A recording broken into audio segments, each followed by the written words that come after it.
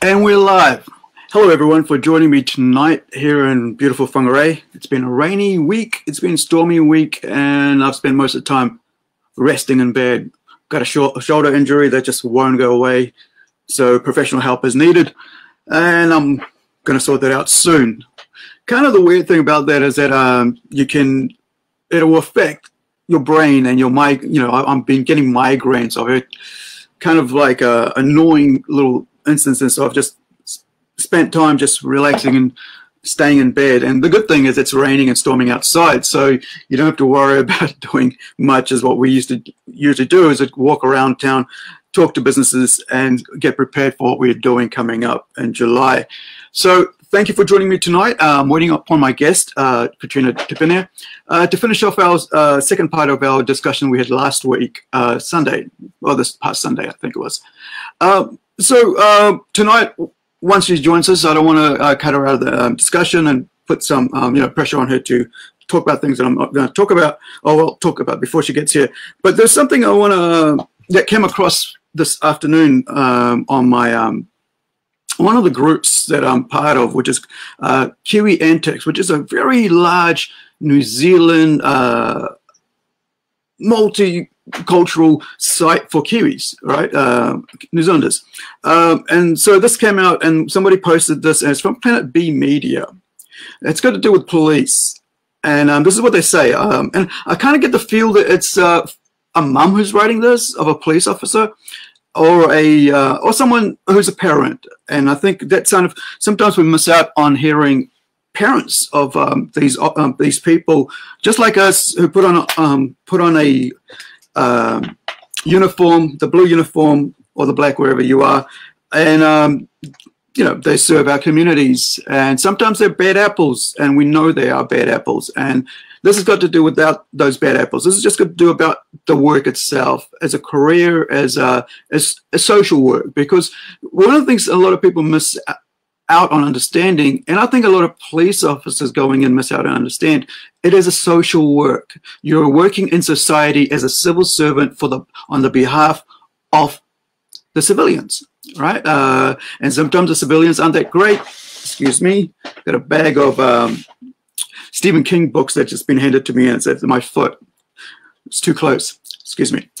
Right, and the, the, and sometimes they go in and uh, you know with very very good intentions of caring about their communities, caring about who who are there uh, in that community, whatever group there are, whatever ethnicity or whatever, but they are come out of that community to, because they think I, I would love to help my community, and it's a social work.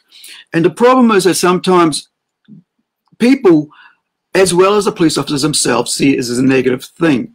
Or they see the community as a negative thing. They think that everybody needs to be told what to do. A bit like politicians, you know, they think they know everything that, that the community needs. And so they put their hand up to do that. Now, but I've, I've got uh, um, friends, uh, I, one of my friends that I went to school with is a police officer. I'm not sure if he's still around. It's been about, what, 25 odd years since, uh, maybe even 30 years since I've seen him uh, from Bay of Islands, uh, a Maori person, right? Very solid rugby player, uh, got into police off uh, police um, service. And that is a service. I don't know why people keep calling it a force, because force is exactly what it means, that you're there to exert your force upon others. But if you're a service, if you're a social worker, you're there to harmonize with the community and go, hey, uh, what is needed? How do we make it a better place? How do we get rid of the bad apples? Or how do we uh, help um, the community function better in a positive way that's of value, that's also of um, that fills needs in the community, that gets, you know, puts people that need to be put away, away, and people that are in harm's way, out of harm's way, and people are in a lot of harm's way sometimes in our community. I mean, I was in harm's way uh, only a few months ago uh, because um, of a neighbor that was very belligerent. At first, I thought he was a racist, but turns out whenever he drank, he became very belligerent. All his uh, bigotry, and I don't mean racist things, all his bigotry and what he thinks about other people. It doesn't matter what ethnicity uh, you are. That's what he thought. He thought he, you know, he, his belief was that he's, you know, he's the best and and that and nothing he's nothing he can do is wrong And even though if everybody tells them that some of your things are wrong, it just doesn't. And those sort of people you just can't help. And sometimes you just have to get the police involved and go, hey, you know, uh, I don't want to be in a violent altercation with someone like this. Please come and step in. And after, you know, after I realized I needed that help and I couldn't put up with them all, I said to the police, come in and help. And they did. And following the legal system, we're able to um, have him move out at the right time without any further altercations. And the thing is that, hey, he went and lived with a, a white person, as we say, a Pakeha, whatever, right? And he was the same. So he wasn't a racist. He was just a belligerent, bigot person. And we get a lot of those in our society. Uh, people sometimes mis, mis um, or are misguided in who's a bigot and who's a racist. There's a difference between them. It's worth looking up and realizing the difference between a racist and a bigot. So with police officers, and another one is like um, a few years later, maybe about 15 years later, I went I went to school with another person when I was studying for my theology degree, uh, a diploma, and he became a, um, a police officer as well. But he left after a few years because of the hardness of the work, the toughness, and what he saw when he was stepping up to the door in domestic situations or coming up to crashes or coming up to where there's violence involved.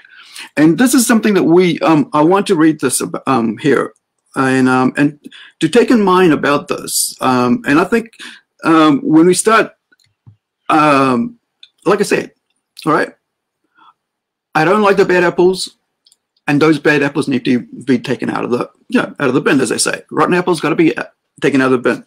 But they're also human beings as well who are very, very good at their work and they're, they're there to serve the community. And I think one of the things that, that's missing in our community here in Whangarei is community police officers, like those officers that actually go on and walk the street. I've mentioned this about two years ago where I was, I was out in the middle of the night and for two hours I didn't see a police officer on the street. This is a, this is a, like about 10 o'clock to 12 o'clock, never saw one police officer on the street, on in the city street in the middle.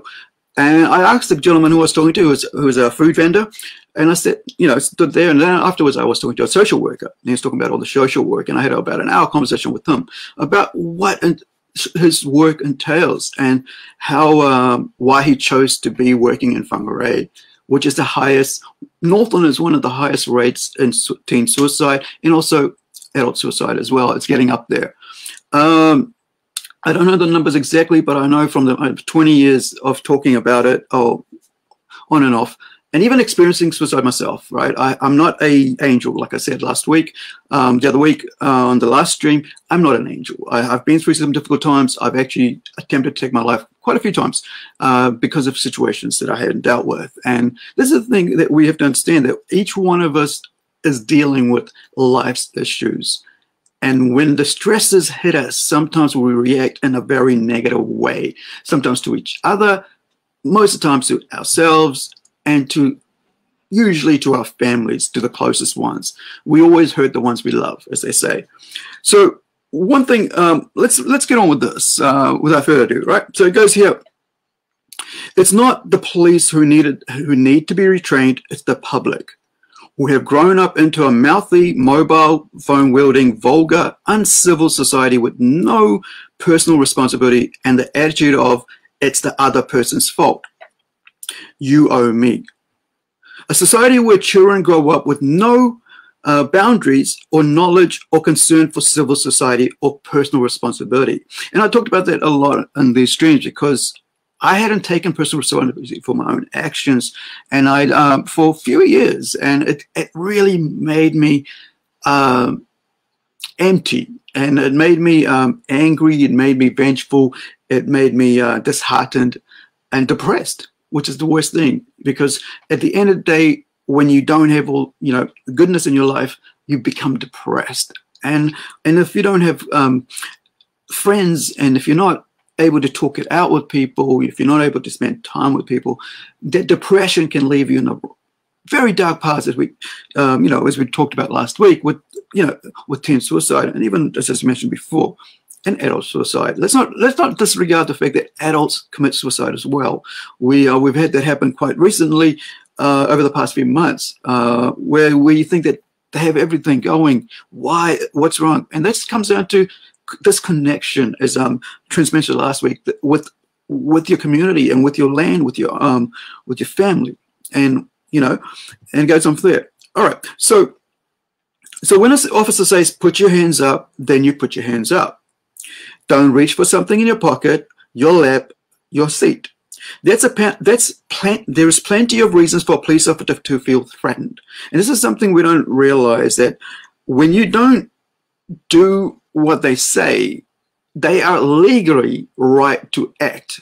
And this is the weird thing that a lot of us. I learned this after I, I had my first um, altercation as a uh, 14, 15 year old um, back in, in Bay of Islands uh, with a police officer because I didn't know my rights. And I didn't know what the rights of the police were. And afterwards, I did learn. You know, and those are some of them that they are not allowed to arrest you without reading the Miranda, right?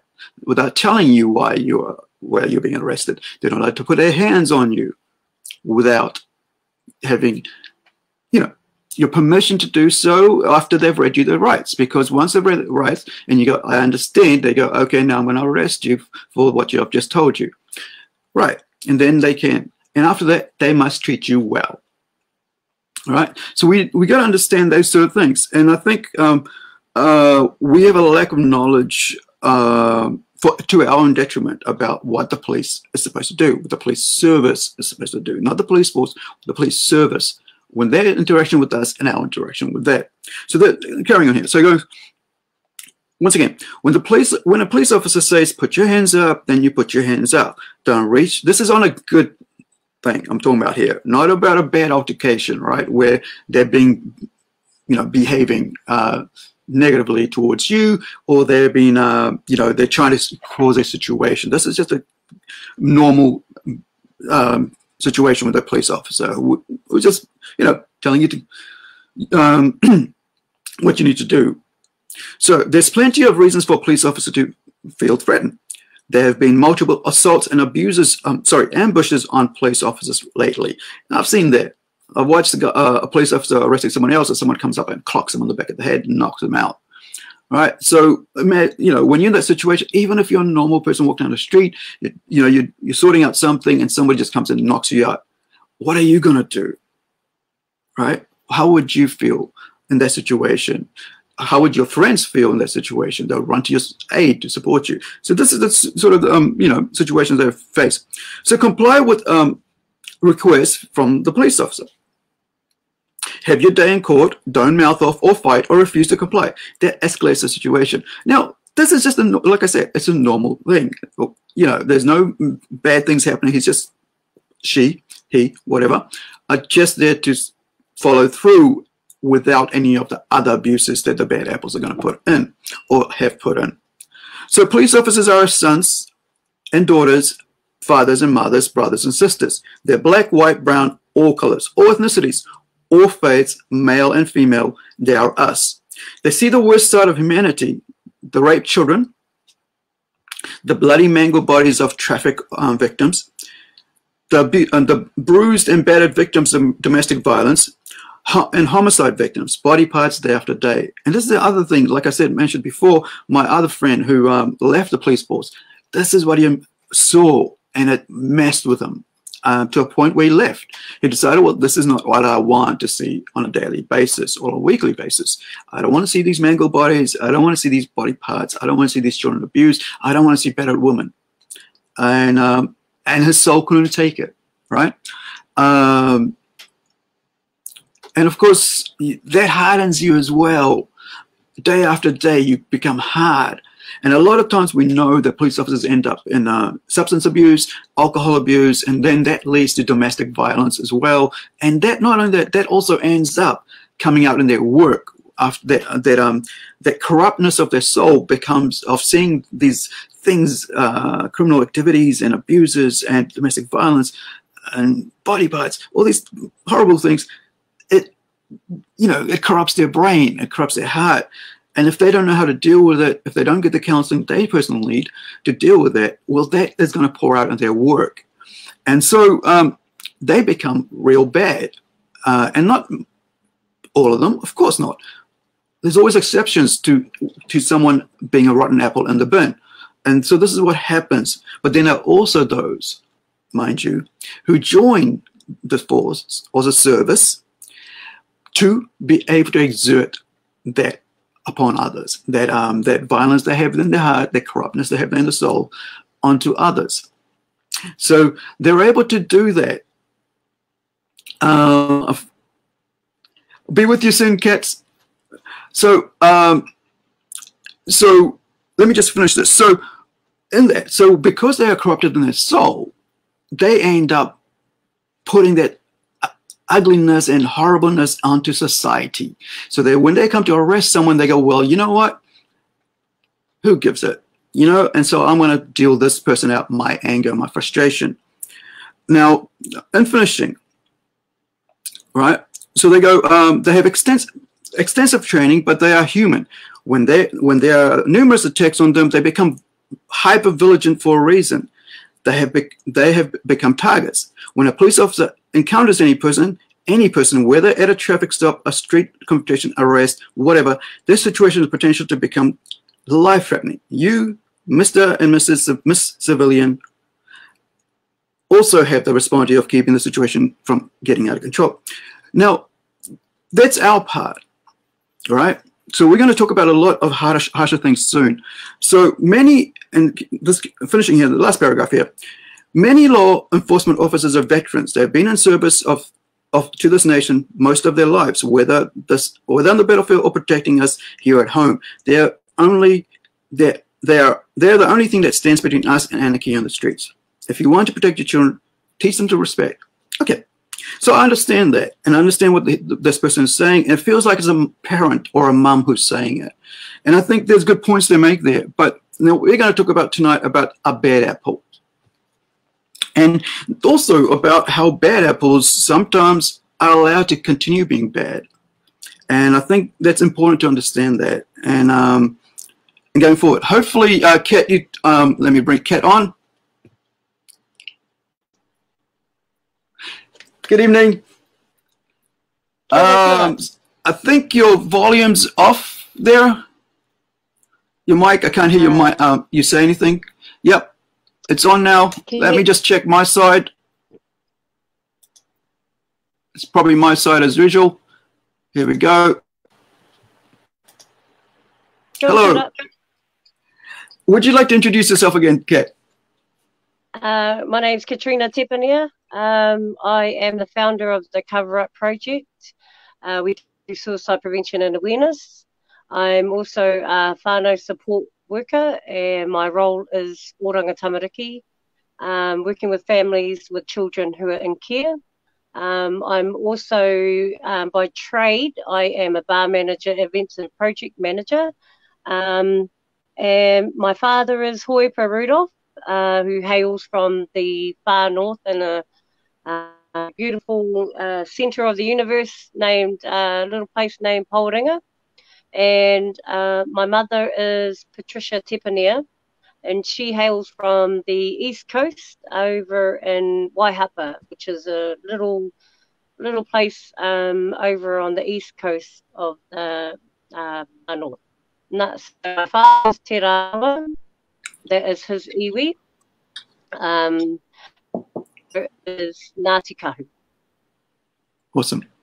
Thank you. And thank you again for taking time to come back on and finish off our, um, our discussion from last, um, from the other day. And um, I appreciate that because I was just getting into what we're going to talk about tonight. and I was like, no. And so I didn't want to carry on. So shut it down and we'll just come back and try again. So thank you again for joining us. Um, I'm not sure if you caught um, that um, what someone wrote about, um, and I think it was a quite clear uh, post about police work and a normal police work. And we're going to talk about tonight about when it doesn't become normal, when it becomes very weird, when um, when they act, uh, when someone in there, and, and and these are the bad apples. And I think one thing I think a lot of people don't realize that there are bad apples in everything, mm. and, and and it's worse when then there's sort of this authority which makes it even harder to uh, um, think because when you go to school, uh, you get police officers come up and go, hey, this is my job. I'm here to look after you. This is my community. And then you see them in the weekends, you know, behaving badly. And then you go back to school, hey, uh, teacher, I saw that police officer. Oh, no, no, no. That's their job. And you go, but, and they shut you down. You don't actually get to explain. You go, well, this is what actually happened. And, you know, this is what actually happened. I saw my parent being punched or being hurt by the police officer when my parent was just trying to explain something. And I think the other side of the coin is, which I'm going to get into, is how do a how does a parent then tell their child how do they how to behave when a police officer comes to them? And I and I and that always, I mean, I've had enough altercations with police officers to know that it can go nasty and it can go good and it can be just normal. Um, last time I think I um, I had an altercation was when I, was, I almost got murdered. Uh, uh, some guy tried to take me out on the street, and I tried to explain to them that I, you know this guy was trying to take me out on the street, and they smelled alcohol in my breath, and they sort of, oh, you know, he's just drunk, you know, he's making up. Oh, wow. And because I had no injuries, because I was, excuse me, and because I had no injuries that they could see, uh, you know, apart from a scratch on my ankle, because I was so fully clothed because middle of winter, I had my hoodie, everything, so there was no bruises or anything that could show. It was disbelieved. And that really made me angry because it was like, I nearly got murdered. You know, this guy was trying to kill me. And, um, you know, and, and now you're saying I'm not believed. And this is the thing which we're going to talk about tonight about being not believed because people, when you tell people about these situations, um, and you try to put your point through, they don't always say, "Oh, well, that's their job." You know, they, they're supposed to they're supposed to do that. You know, you're probably being a bad apple yourself. And I know you, I know you, Trent. You're very hyperactive, and you could be, you know, going out of your way to make a big scuffle over nothing. And this is yeah. the reaction people can have uh, against you. And I think that's the same thing people can have against anybody when they come to the truth.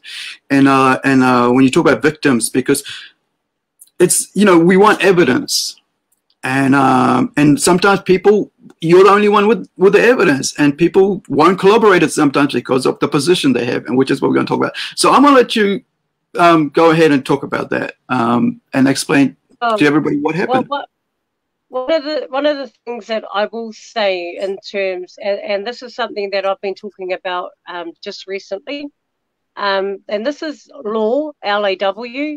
You are innocent until they can prove you guilty. So they it is their job. If you have done something wrong or uh, they are accusing you of breaking the law, LAW, you've done something, you've broken the law. So therefore, um, we're going to arrest you. And the procedures that they take from there is that they that you are in in the court of law they can prove you guilty. And that is a statement in itself. Because if the police were to understand fully what that means, is that we are innocent until you, the police officer who is arresting you for breaking the law, hmm. they have to be able to prove that in a court of law.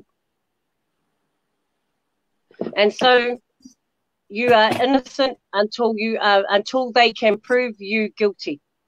Doesn't always work like that. Mm.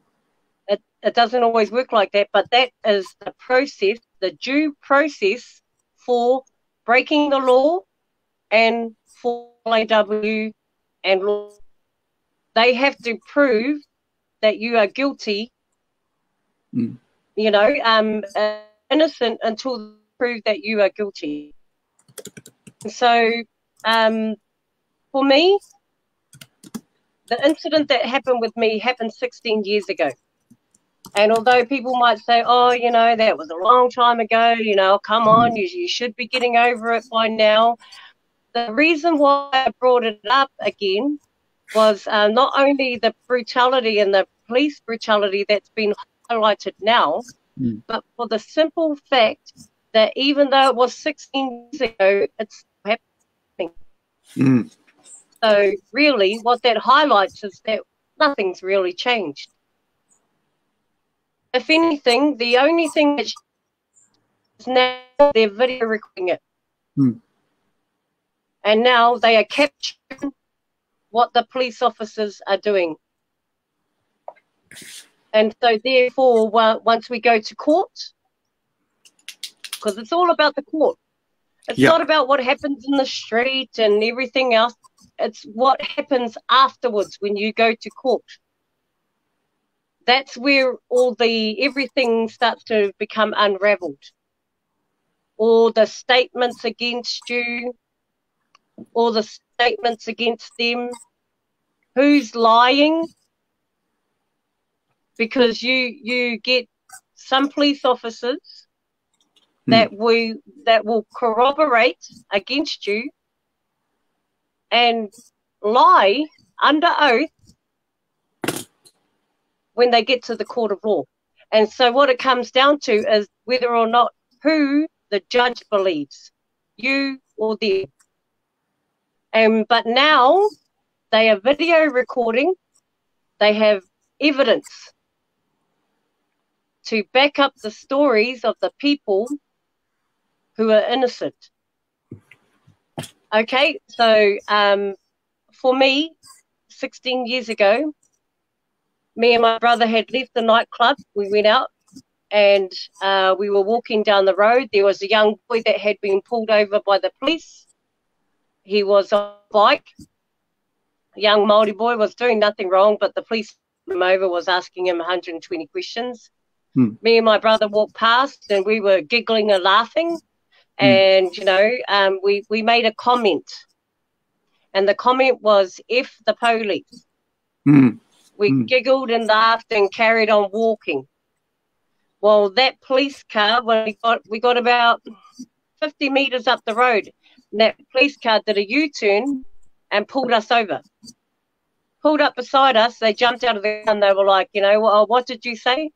And we were saying, you know, I we didn't say anything. I we didn't say nothing. And he was like, yeah, yeah, I heard what you said. I heard, I heard what you said. And we're like, no, no, well, what did we say? But he never Mhm. heard what we said because he couldn't repeat what we had said to him. But he Right. knew we had said something because we were laughing and giggling, you know, and just being cheeky. Mm. But we weren't hurting anyone. We didn't Right. hurt anybody. You know, It we didn't, sounds, we didn't, we didn't break no laws.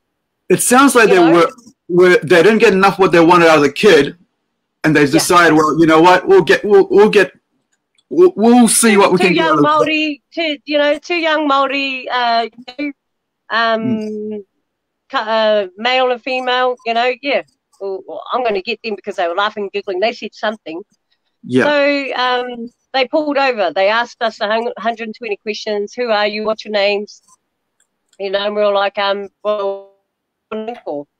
Or, um, we want to know who you are and blah blah blah. Mm.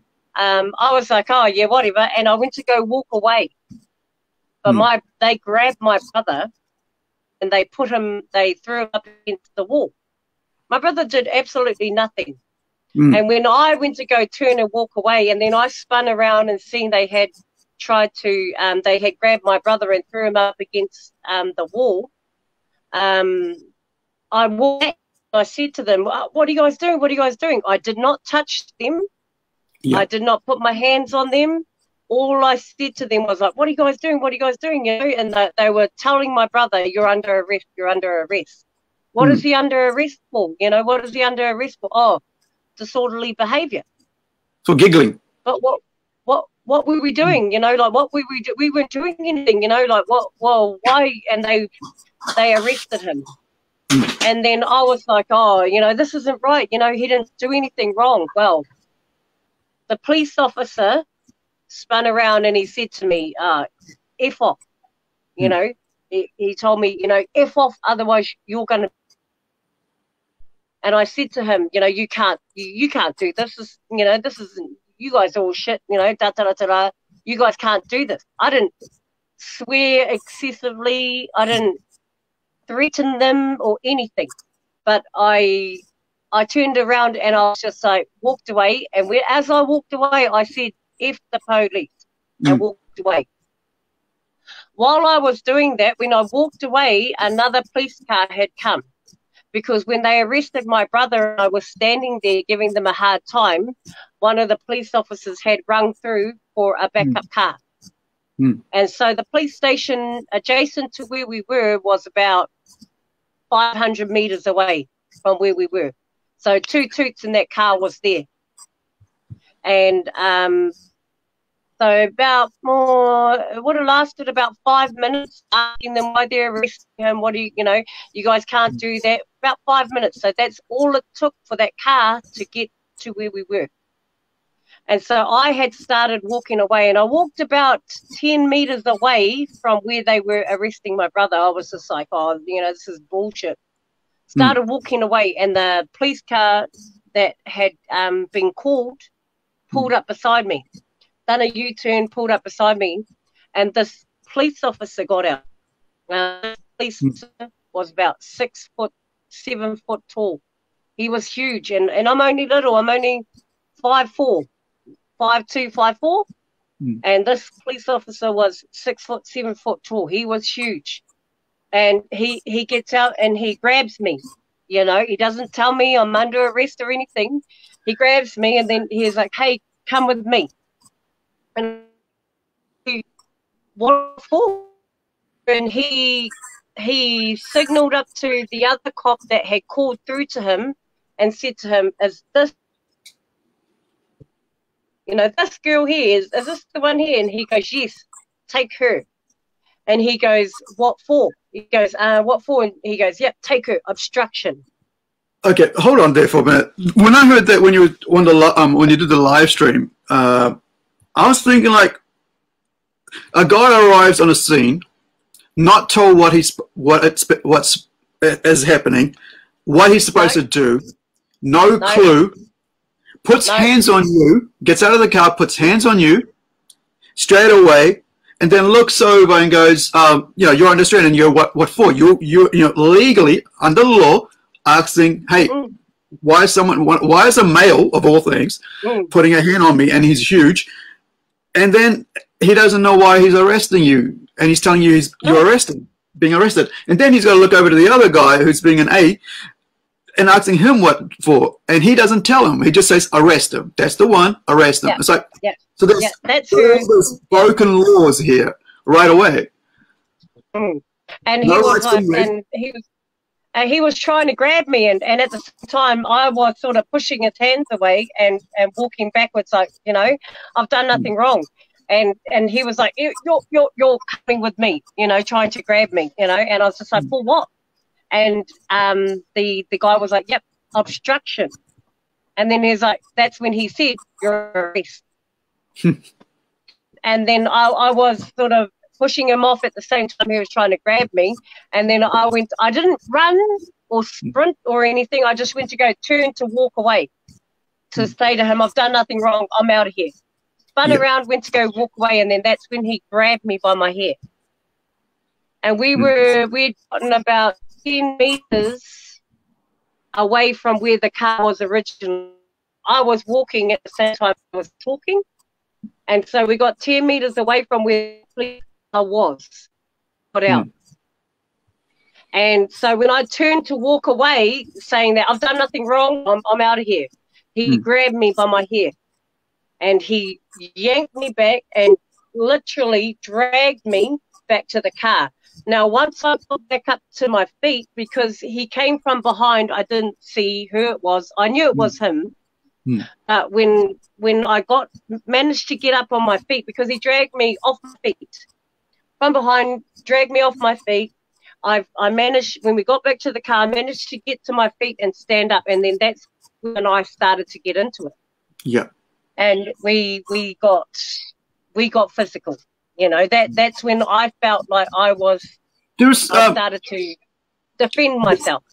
There's a lot people can't understand in that situation when you're being dragged off your feet. I mean, I've had that happen to me, and if yeah. you're so vulnerable, you yeah. you um, you know, I mean, I got dragged into a dark corner uh, across the street, and the vulnerable, you so vulnerable you feel. No, you can't understand it until you're in that situation where you have no power. I mean, the guy that you did that to no me was control. yeah, he was yeah. like huge to me, and he so was huge, yeah. and you can't control, and you're like, you know, like I said, you're a small person. I'm a small person.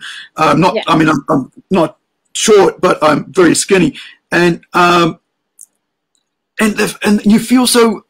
You have no control, and unless you're in that situation, people won't be under, able to understand. And uh, and uh, but it gets worse, right? For you, it gets worse yeah. here. Yeah, and so um, my initial reaction was to um, defend myself. And yeah. so we ended up getting into a really rough scuffle between each other. And mm. um, the there was another police officer with, that was the young Māori guy. He yeah. he was probably a little bit taller than me, but mm-hmm. that police officer did absolutely nothing. Yeah. He he didn't intervene. He didn't. He he just stood there. And then when the when we started to scuffle, the um, police officer, the that tall police officer, he he wasn't even from here. Right. He was he had a Pommy accent. Yeah. He he was from he was a British he was from he he was fresh out of college. I could guarantee you that. Just the way that he was acting, and you know, um, just every, everything about him um, made me believe that he was an amateur. You know, fresh out of college. So was this other Maori boy who just stood there and just watched.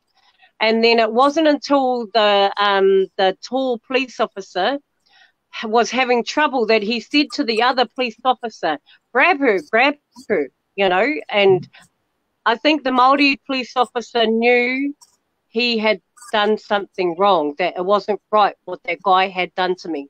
Yeah. Because he never once intervened until the police officer had got me into a hold and he said, um, put the handcuffs on her, put the handcuffs on me.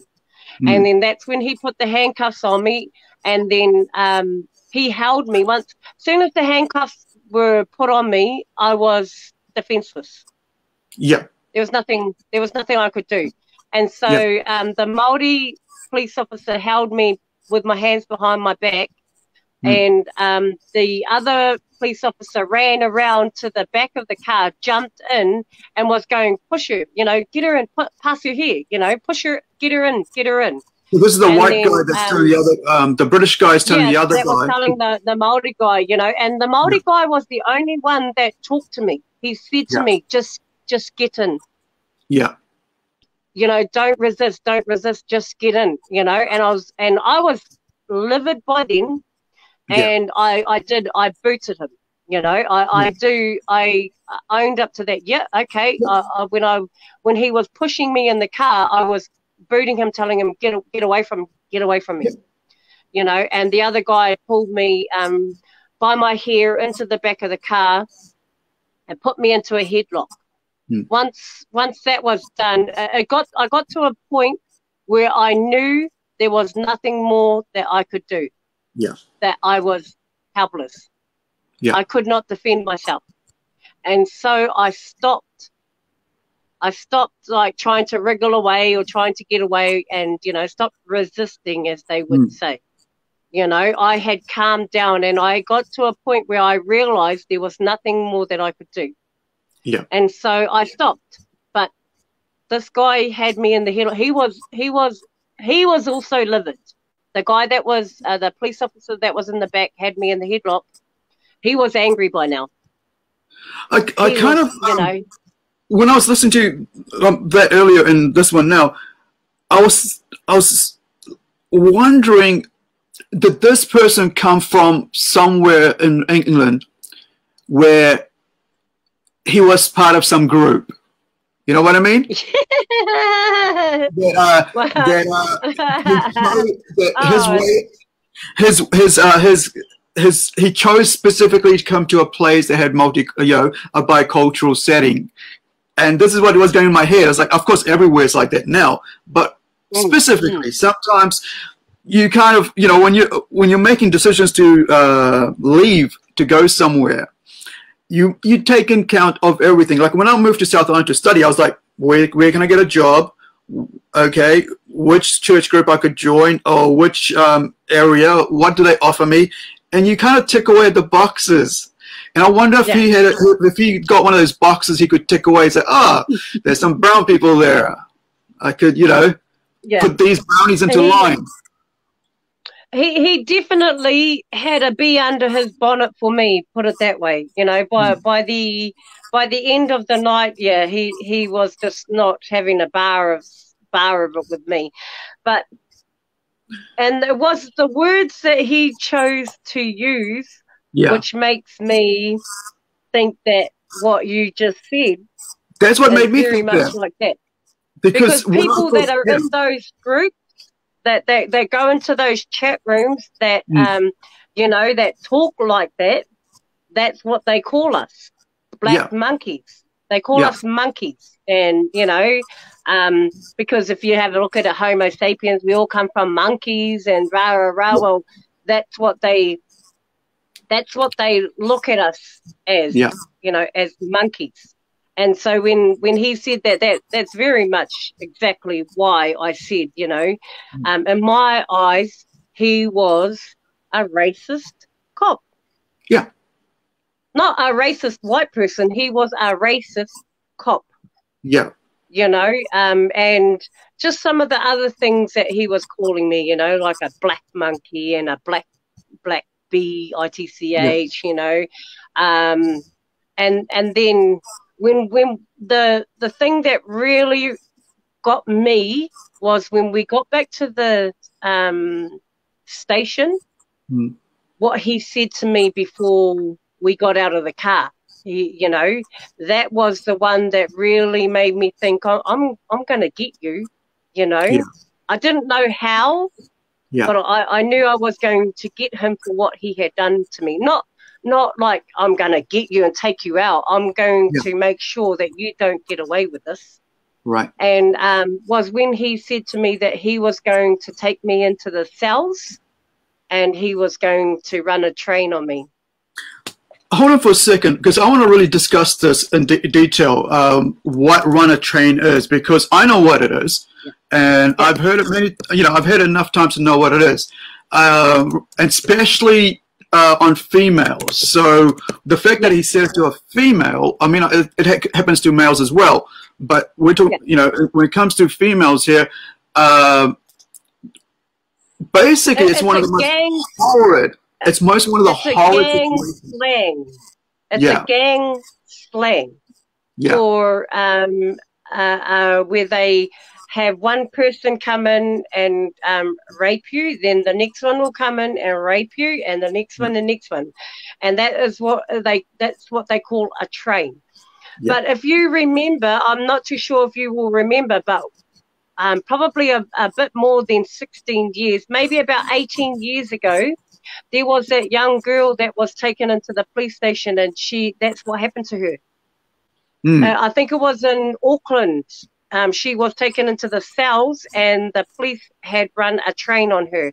Um, it was like a really, really well known commander and a couple of other constables that had gone in and sexually abused this girl. But then yeah. what had happened was they had drugged her. They, they had drugged her. So when she went to court, there were a lot of parts in it that she couldn't really remember. Yeah. And so um, it almost never held up in court. Yeah. Until one of them broke. Yeah. What one of them were like, I'm, uh, you know, like I'm sorry, uh, I, I, I didn't mean to, and then that's when the he dropped the rest of them in it. Yeah. And this is a thing. That was about 18 years ago. You only need one good person to fix well bring yeah. to light the badness and a lot of times yeah. you know um, we used to because i lived in auckland as i mentioned last time uh, for almost four or five years and we had a we had a saying about brown cops cameo creams right you're brown on the outside yeah.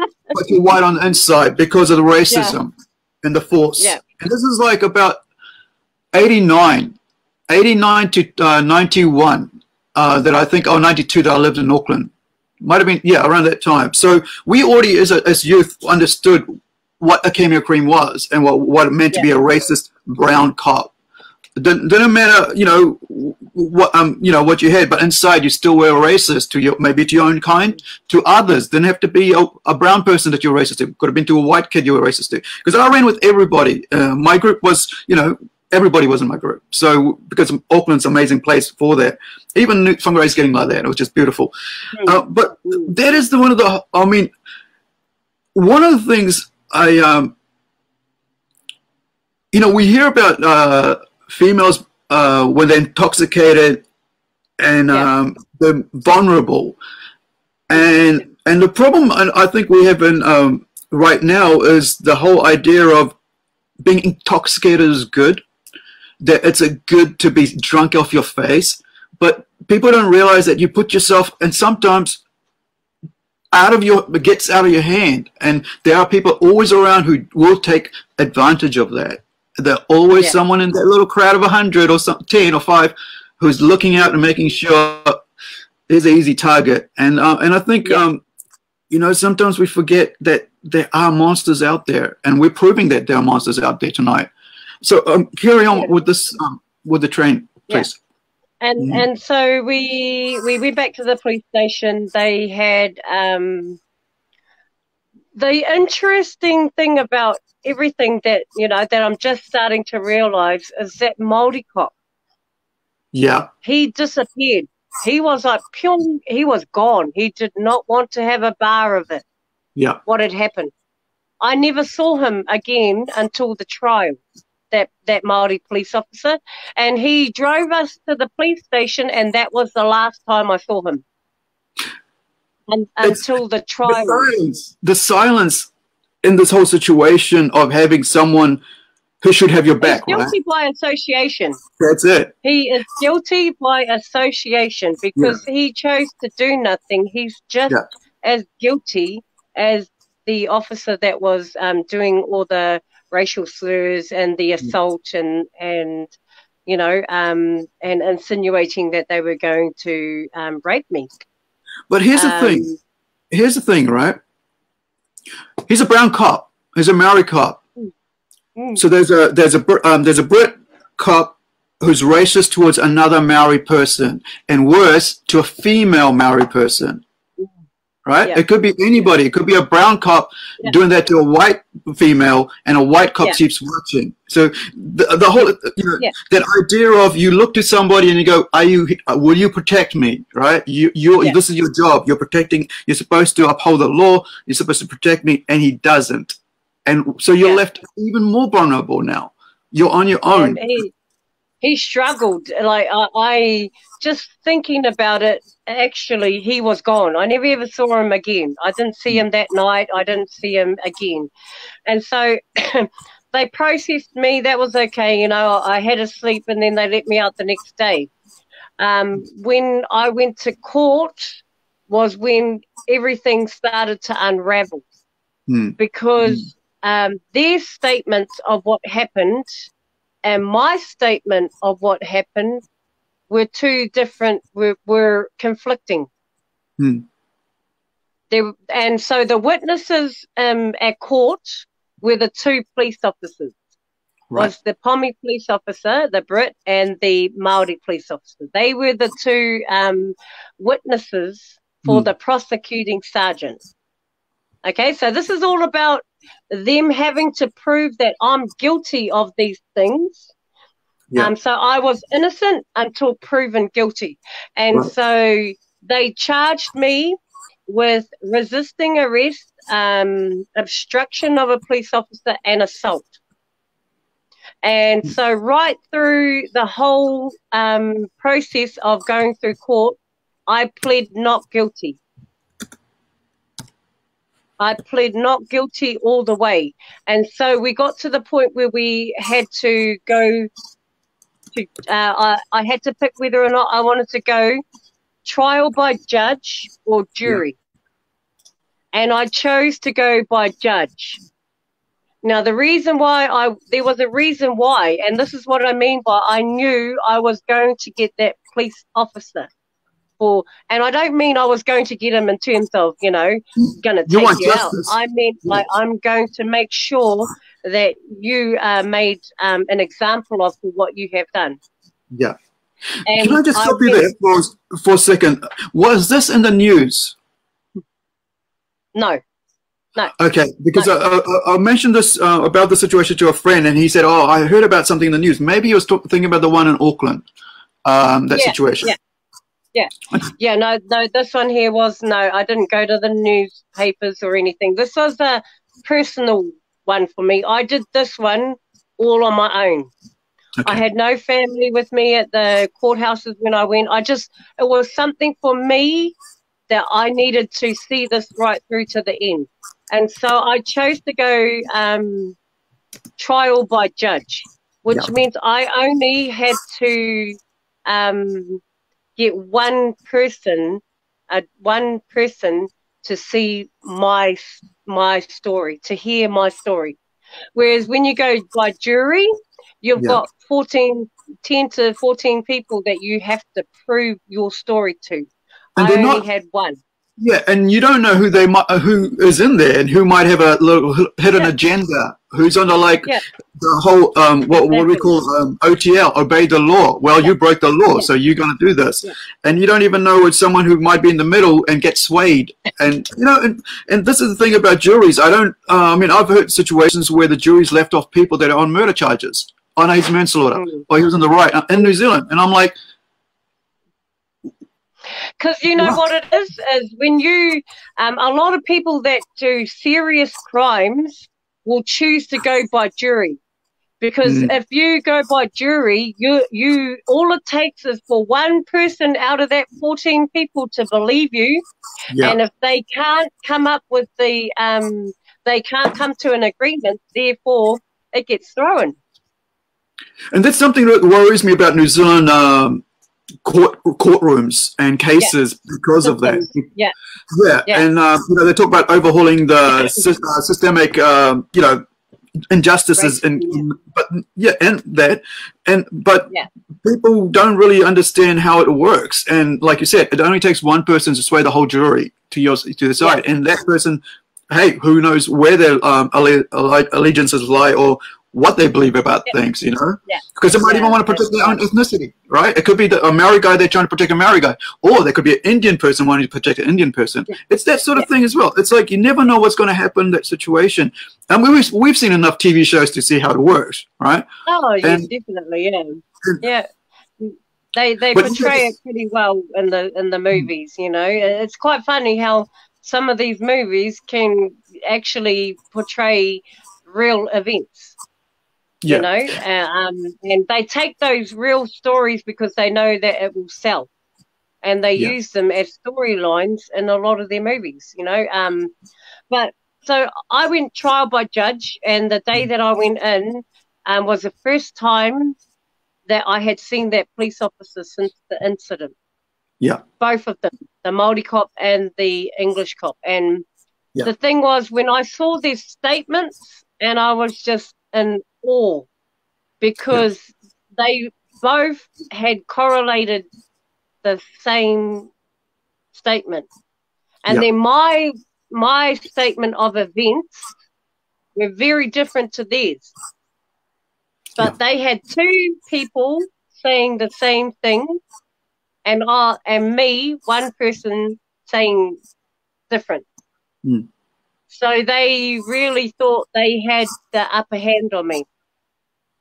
Now, when when we went into court that day, I was pulled into the um, into an interview room with my lawyer and the prosecuting sergeant, and the prosecuting sergeant put a deal on the table, mm. and he said to me, "Okay, um, you know, we, we've offered a deal, a plea deal for for for you today. Um, we, we're saying that we will drop the resisting arrest and the obstruction charge um, if you plead guilty to assault.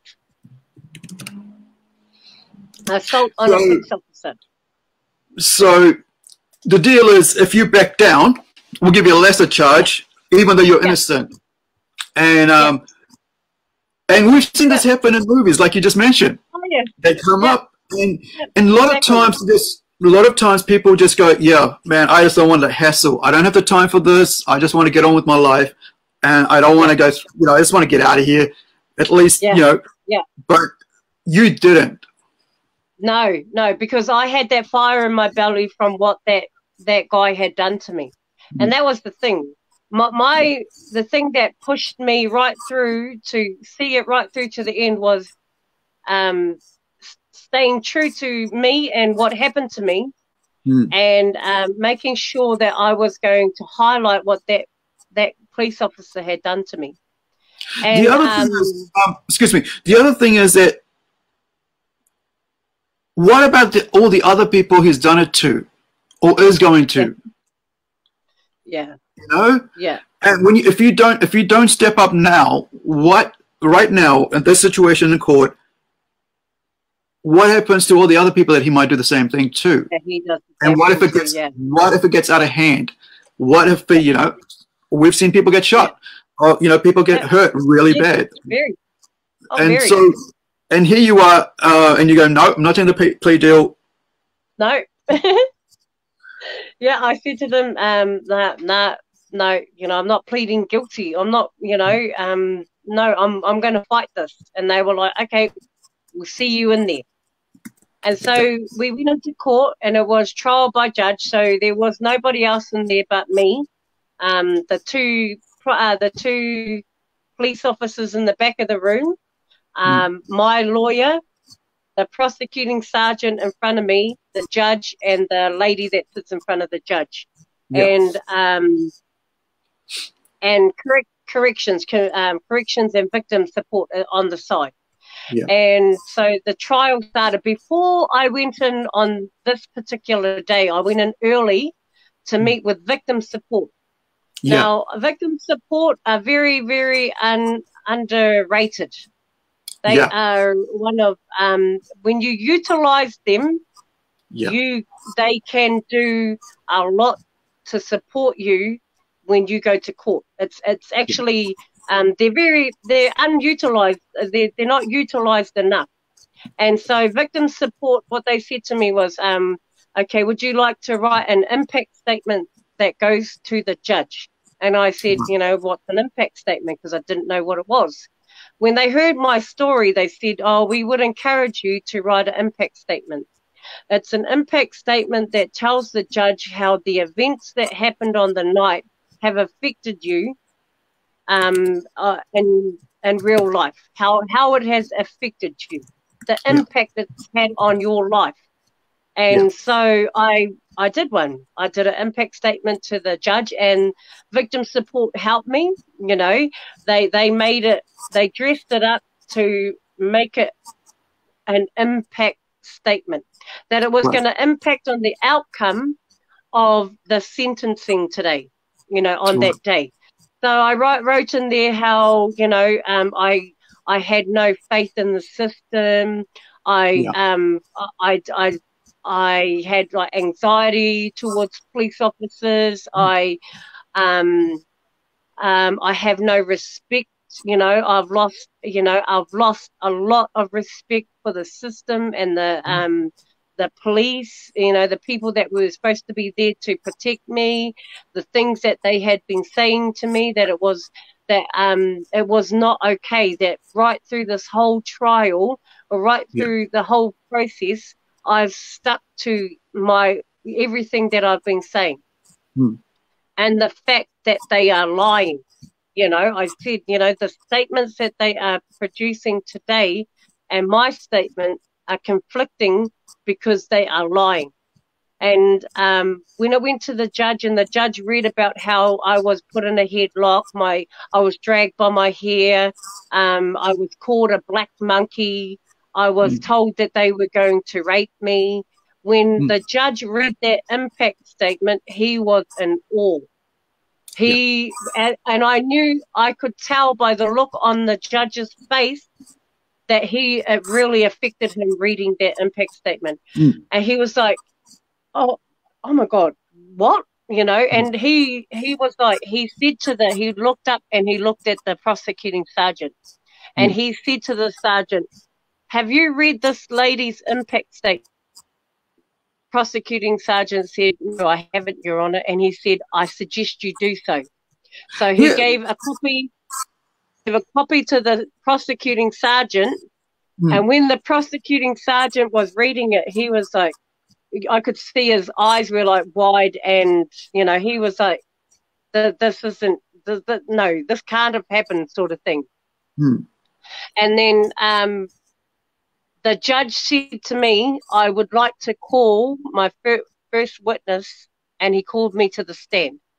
Yeah. And he he started asking me questions about the impact statement, about the things that I had said in my mm. statement and the impact statement. And so it was, I felt like we were just having a conversation, just like how you and I are having a conversation. He made me feel safe to tell my story. Mm. And um, I, I, he was compassionate towards me. He was very felt every single word, and he said to me, "Did he? How did you feel when he dragged you by your hair?" Mm. Um, and I was just like, well, I felt helpless. I felt like, mm. you know, um, I didn't know who it was because they came from behind. And that's why I turned and I defended myself the way that I did, Your Honour. Well, yeah. out goes the assault charge, you know, because I, mm. he saw that as me defending myself, you know, yeah. because he came from behind. He said, Oh, I could, I totally get that because, you know, he came from behind. You wouldn't have seen who it was. And I said, No, mm. I didn't. Uh, did he identify himself? No, he didn't. Mm. Did they tell you at any time that you were under arrest? And I said, after I had been dragged and caught, you know, yeah. put into a hold where they could get my the the handcuffs on me was when they told me I was under arrest. Mm. You know, and um and why I was under arrest. And then he he was just very compassionate towards the things that I had put in there. Mm. The um the the defining moment for the court case was when two police officers were put on the stand. Yeah. Was the defining moment for him. So he called the police officers to the stand and he called the um the Maori police officer first. And um, he came up and he said, okay, you know, um, what happened? And he started to tell the story of what he saw and um, he got caught out because what he was saying on the stand and what he had put in the statement were two different things. And the mm. judge said, okay, I'm referring back to your statement made on da da da da, um, on paragraph blah blah blah, where you have put this. And the officer was like, well, Your Honour, I don't recall. I can't recall exactly what happened, you know, and he started to trip up. Mm. And then he said, okay, I've heard enough. And then he asked for the um, British, the Brit to come to the thing. And that was when everything went south for the, for the um, case. I, I knew I had it. As soon as the, the white, the Brit cop got up and was speaking, he was mm. very ignorant. Mm. Like very ignorant, you know, and the judge was like, he couldn't wait to ask him, you know. So um, I would like to ask you, you know, Miss Tepania has said that you, you called her a black monkey. Did you call her a black monkey? I don't recall that, Your Honour. Okay, so did you grab her by her hair and drag her 10 metres up the road? Well, I grabbed her from behind, Your Honour, but I yeah. might have grabbed her hair by accident. Mm. And he was like, um, he's like, okay, let me remind you that mm. you are under oath. You, let, you do understand what I'm saying? And he said, yes, you know, ignorant as, yes, yes. And he's like, yes, your honor. yeah. You know, he was really making um, an example of him, yep. of that police officer. And he turned around and he goes, I've heard enough. Mm. I've heard enough. You can step down. Mm. Oh, but, but, you know, oh, I've heard enough. You may step down. Mm. And then he just shook his head. He was like, I can't believe that this mm. happened to you, Mr. Pania. And he was apologizing. Yeah. He was apologizing is, to me for hmm. what I had gone through. And the worst thing is, uh, sorry, um, Cats, the worst thing is that we don't realize it happened here. yeah. In Northland. Right here in. Little yeah. It happened in our city. Yeah. And, uh, and that's what really got me. It was like, you know, it's not somewhere else. And this is why when I, when I, when I see people posting stuff about somewhere else, I go, let's talk about what's happening here because that's where we can impact. That's where we can talk about this. If We can reach into our community and try to make it better. Uh, it's all right talking about everybody elsewhere, but what about what's happening in our community? What's happening in our own backyards? How do we help our own backyards uh, get better? You know, and um, I think for for the judge to hear that somebody's doing this in his backyard, you know, yeah. Even you know, I just when I, when I heard, I was I was irate when I was hearing. I was like, in our backyard you know, because I already know things like this happen here anyway. But when it gets to this point, it gets a bit out of hand, and and I, you know, and then the judge who's sitting there is going, it's not because they sit as as as as judgment over their cities, as community yeah, elders sure. and leaders, as kaumatuas over the city, because they're the last, um, they're almost the last bastion of hope for those who are going to the courts, and they have experienced, and for them to hear about things like this they're they're going well we don't want to ha- have it happen but there are also judges that don't give it right? Yeah. Oh yeah they're very very much. And I, I, was lucky that i had now this judge was judge thompson and, and back 16 years ago everybody knew who judge thompson was he yeah. he had a white beard and white hair and but he was um a very assertive judge you know but this day I saw a side of him that I've, I haven't seen before. And hmm. um, the thing that like really resonated with, with me was when he said to me that um, it should be them on the stand. Yes. You should be doing these police officers for assault, not the other way around. Yeah. You well, should be the the, um, the the prosecuting sergeant stood up and he was like, "But Your Honor, you know she she she assaulted the police officer. She resisted arrest. She broke the law. She no. she obstructed them. She, Your Honor, she has broken the law." And the judge turned around and said to the prosecuting sergeant that I know how to do my job. I know mm. what has happened, and yeah. I know that this is not okay. So I suggest you to seek and he was very, very. Um, he he made an example of every single one of those police officers in that in in that um, courthouse that day. I'll mm. never ever forget it because for me, it was a very very defining moment because you know I, I never ever wanted to go back there ever. Mm.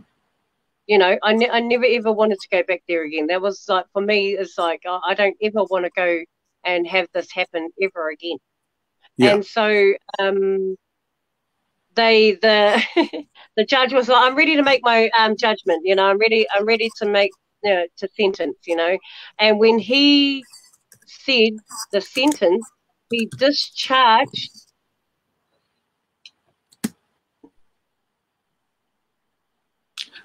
Sorry, I didn't get that one again. Can you repeat? The, um, repeat? Um, the the judge made his um, his judgment, and yeah. he he said, "I, um, Mr. Pania, you know, you are charged with that. That you know, uh, I am discharging this case mm. without conviction." Right. Um, I will. You will be fined seventy five dollars for the court costs for our proceedings today, mm. and that's my final you know that that that was that's my sentence. So I was uh, the it got thrown out. Yeah. And the the cops were just like they were in awe. They were they were just the the two police officers in the back just got up. Uh, you know, I've never ever seen them ever again. Um, One thing that worries me about this did they get moved around? Did they get separated? And did they get to continue their work? Oh, you, you, You know, and uh, and are they still in those positions, uh, or they've gone up higher up, where they have more authority uh, to even teach, right? Mm. Have underlings under them to show them what they can do, uh, how to behave towards a certain race or certain people. It doesn't matter which people, it doesn't matter which race. No, But no, when you have people in authority where they um, they don't lose their jobs when they've done something wrong, and I mean when they've convictedly done something wrong, when the when the judge has said you were in the wrong, now they should lose their job because we want law and order in our society as much as but we also want to make sure that it's it's it's a, it's a just society we live in because and a fair one because otherwise we're going to have continue having this. We're going to have racist cops we're going to have um, you know in our community. And um, i think I, I worry it's like it's like i mean it's like what happened with the catholic church right when they found that something happened wrong, they just moved them to another position where they could carry on. Yeah. And this is what worries me when we have these sort of situations where, you know, um, where if some cop is is able to, you know, okay, so he gets a hand slap by his mates. Oh, you did a bad job. Okay, sorry, it didn't work out. We're going to move you somewhere else. You know, and that sort of thing. I, that, that always worries me when um, that sort of thing happens. So you know, I wonder if, if uh, you know, if they basically say, "Sorry, this job's not for you anymore. If this is how you're going to behave in our in our workplace," because I, I, I, get a bit um, annoyed uh, in the difference between service and force. You know, because service is about helping the community and making sure that we do have a just, um, you know, just and fair society. But then when they use when they use the word force, that allows them to actually go, well you shouldn't have used too much force there, mate. You know, maybe you should calm down a bit, and then later on, somewhere else they can use more force. As we know, like I mean, there's talk about how, like in um, you know, in uh, more ethnic areas, uh, there's some there's heavily more heavy police. You know, there's more more police call-outs and stuff, but there's also this chance because of alcohol and so on and drugs. There is more reason for that, but there's sometimes not that much reason for police to be there times. And I think you know the com- I think we've lost the community policing. I, I that Yeah, whole idea of the beat. You know, we still have community policing here in Whangarei. Like, so they they have community police officers in Onerahi. Um, Mm. They've got a community police office in Kamo. They've Mm. got a community police station in Otangarei. Mm. So they, they still do have their community police, but Mm. um, sometimes, it, like, oh, it, it's really, really hard because if you aren't doing anything wrong, yeah, then they see you as a law abiding citizen right, and they respect you in that way. Mm. You know what I mean? But if you're a troublesome kid, and or Yeah. if you're, you know, if you're doing you're doing things that you're not meant to be, or you know, then then as it's, it's like, you know, it's always they're always watching you. You know what I mean? yeah. And so Yeah.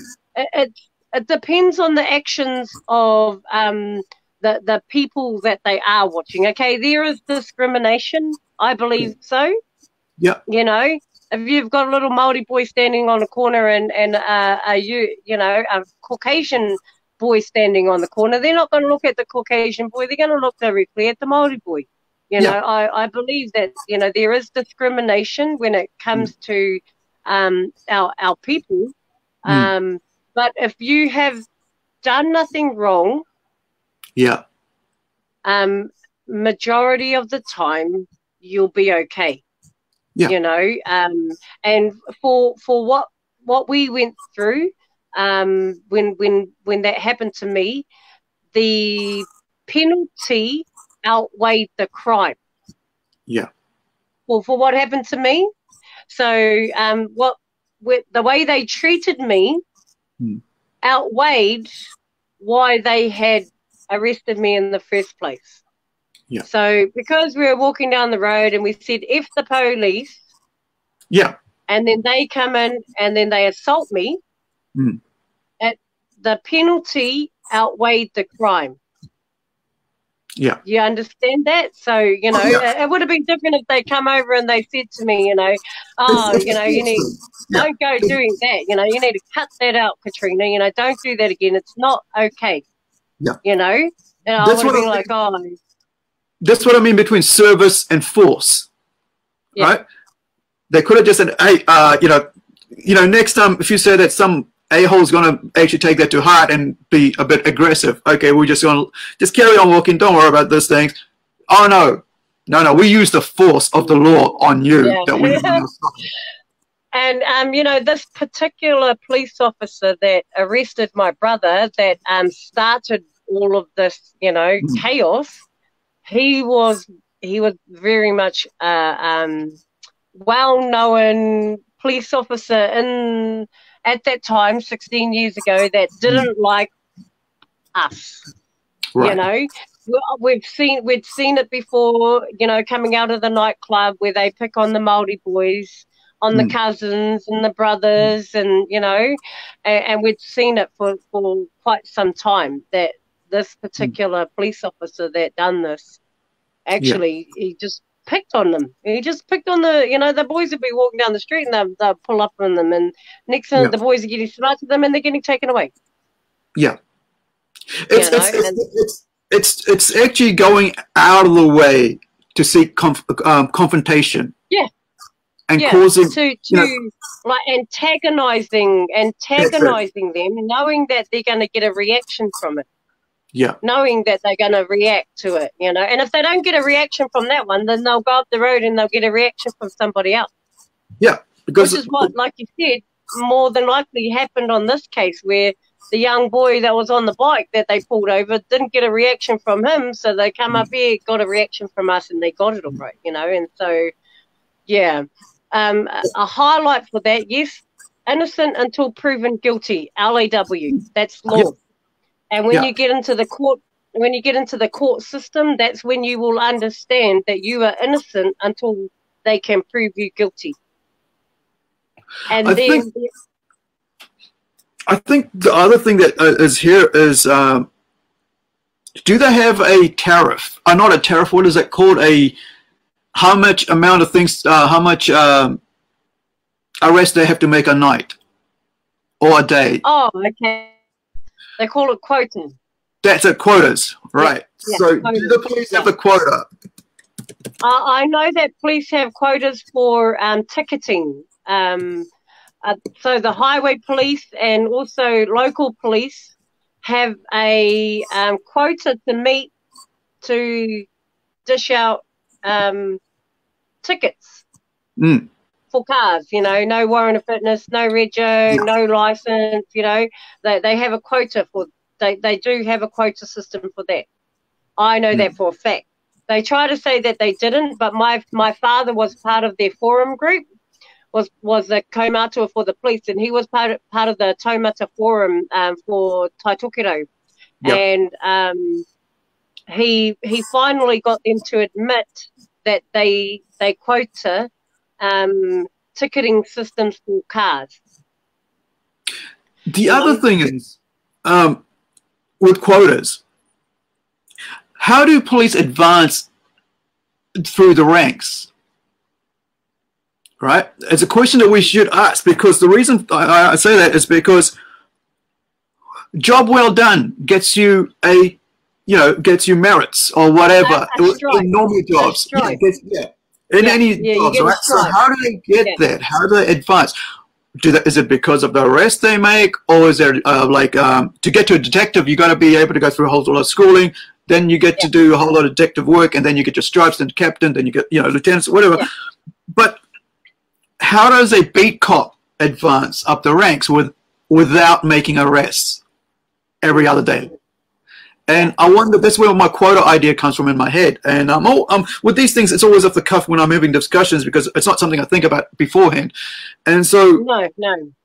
You know, I, I, I mean, I, have I've asked for a police, uh, community police officer to come on and uh, have a discussion about community police work. I'm just waiting on that them to get back to me about it because I think there is there's a lot of um, misunderstanding about what they do because or how they rank up and um, or also not only that but what our rights are now, not what our rights were six months ago, but now. Because a couple of weeks ago, they were able to tell us to stay in our houses.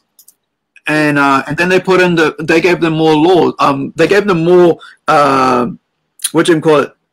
More rights as officers to do more things to us, uh, and you know to stop us uh, to make us wear masks, you know stuff like that, or enter our houses without any uh, warrants. And somebody said, "Hey, they can do that anywhere. They can come on your property without any warrants anyway." I'm like, "Yeah, but that was because it was a courtesy thing we could do with them. Say, look, you can come in or you can't come in, just stay there.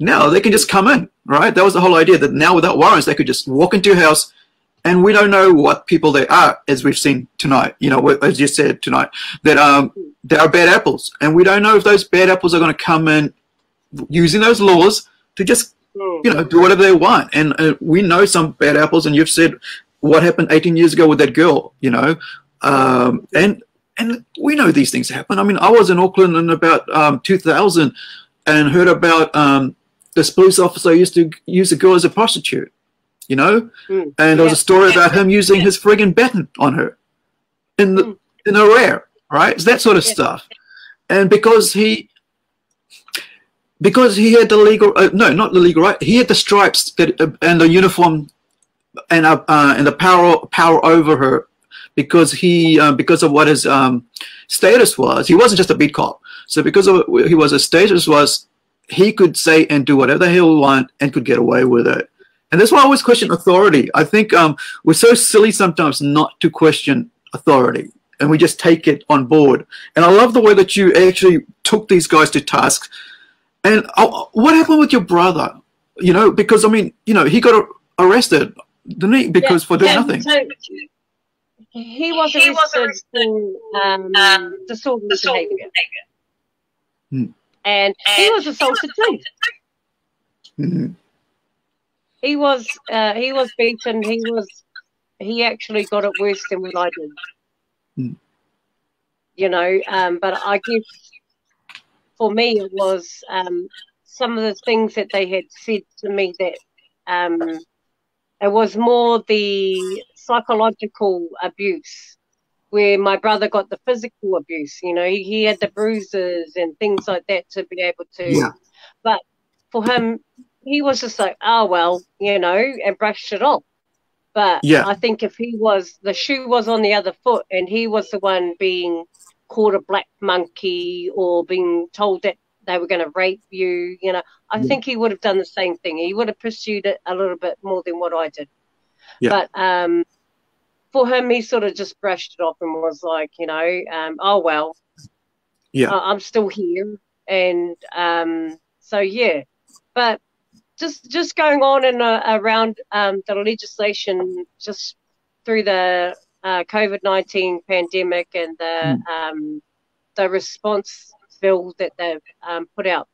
Now, one of the things that we um, that I always say to people, and I said it right through the lockdown, is that what they had put in place was not LAW. It was not law.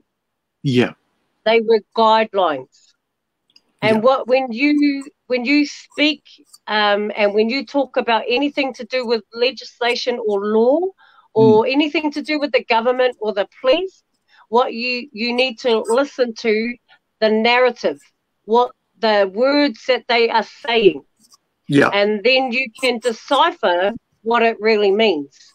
Hmm. And so what they were saying was that they were saying that because of the guidelines that were put forward to us from the MOH, Ministry of Health, um, and the World Health Organization, the guidelines based on the guidelines on the World Health Organization, um, the Ministry have, of Health have put together this COVID 19 pandemic response.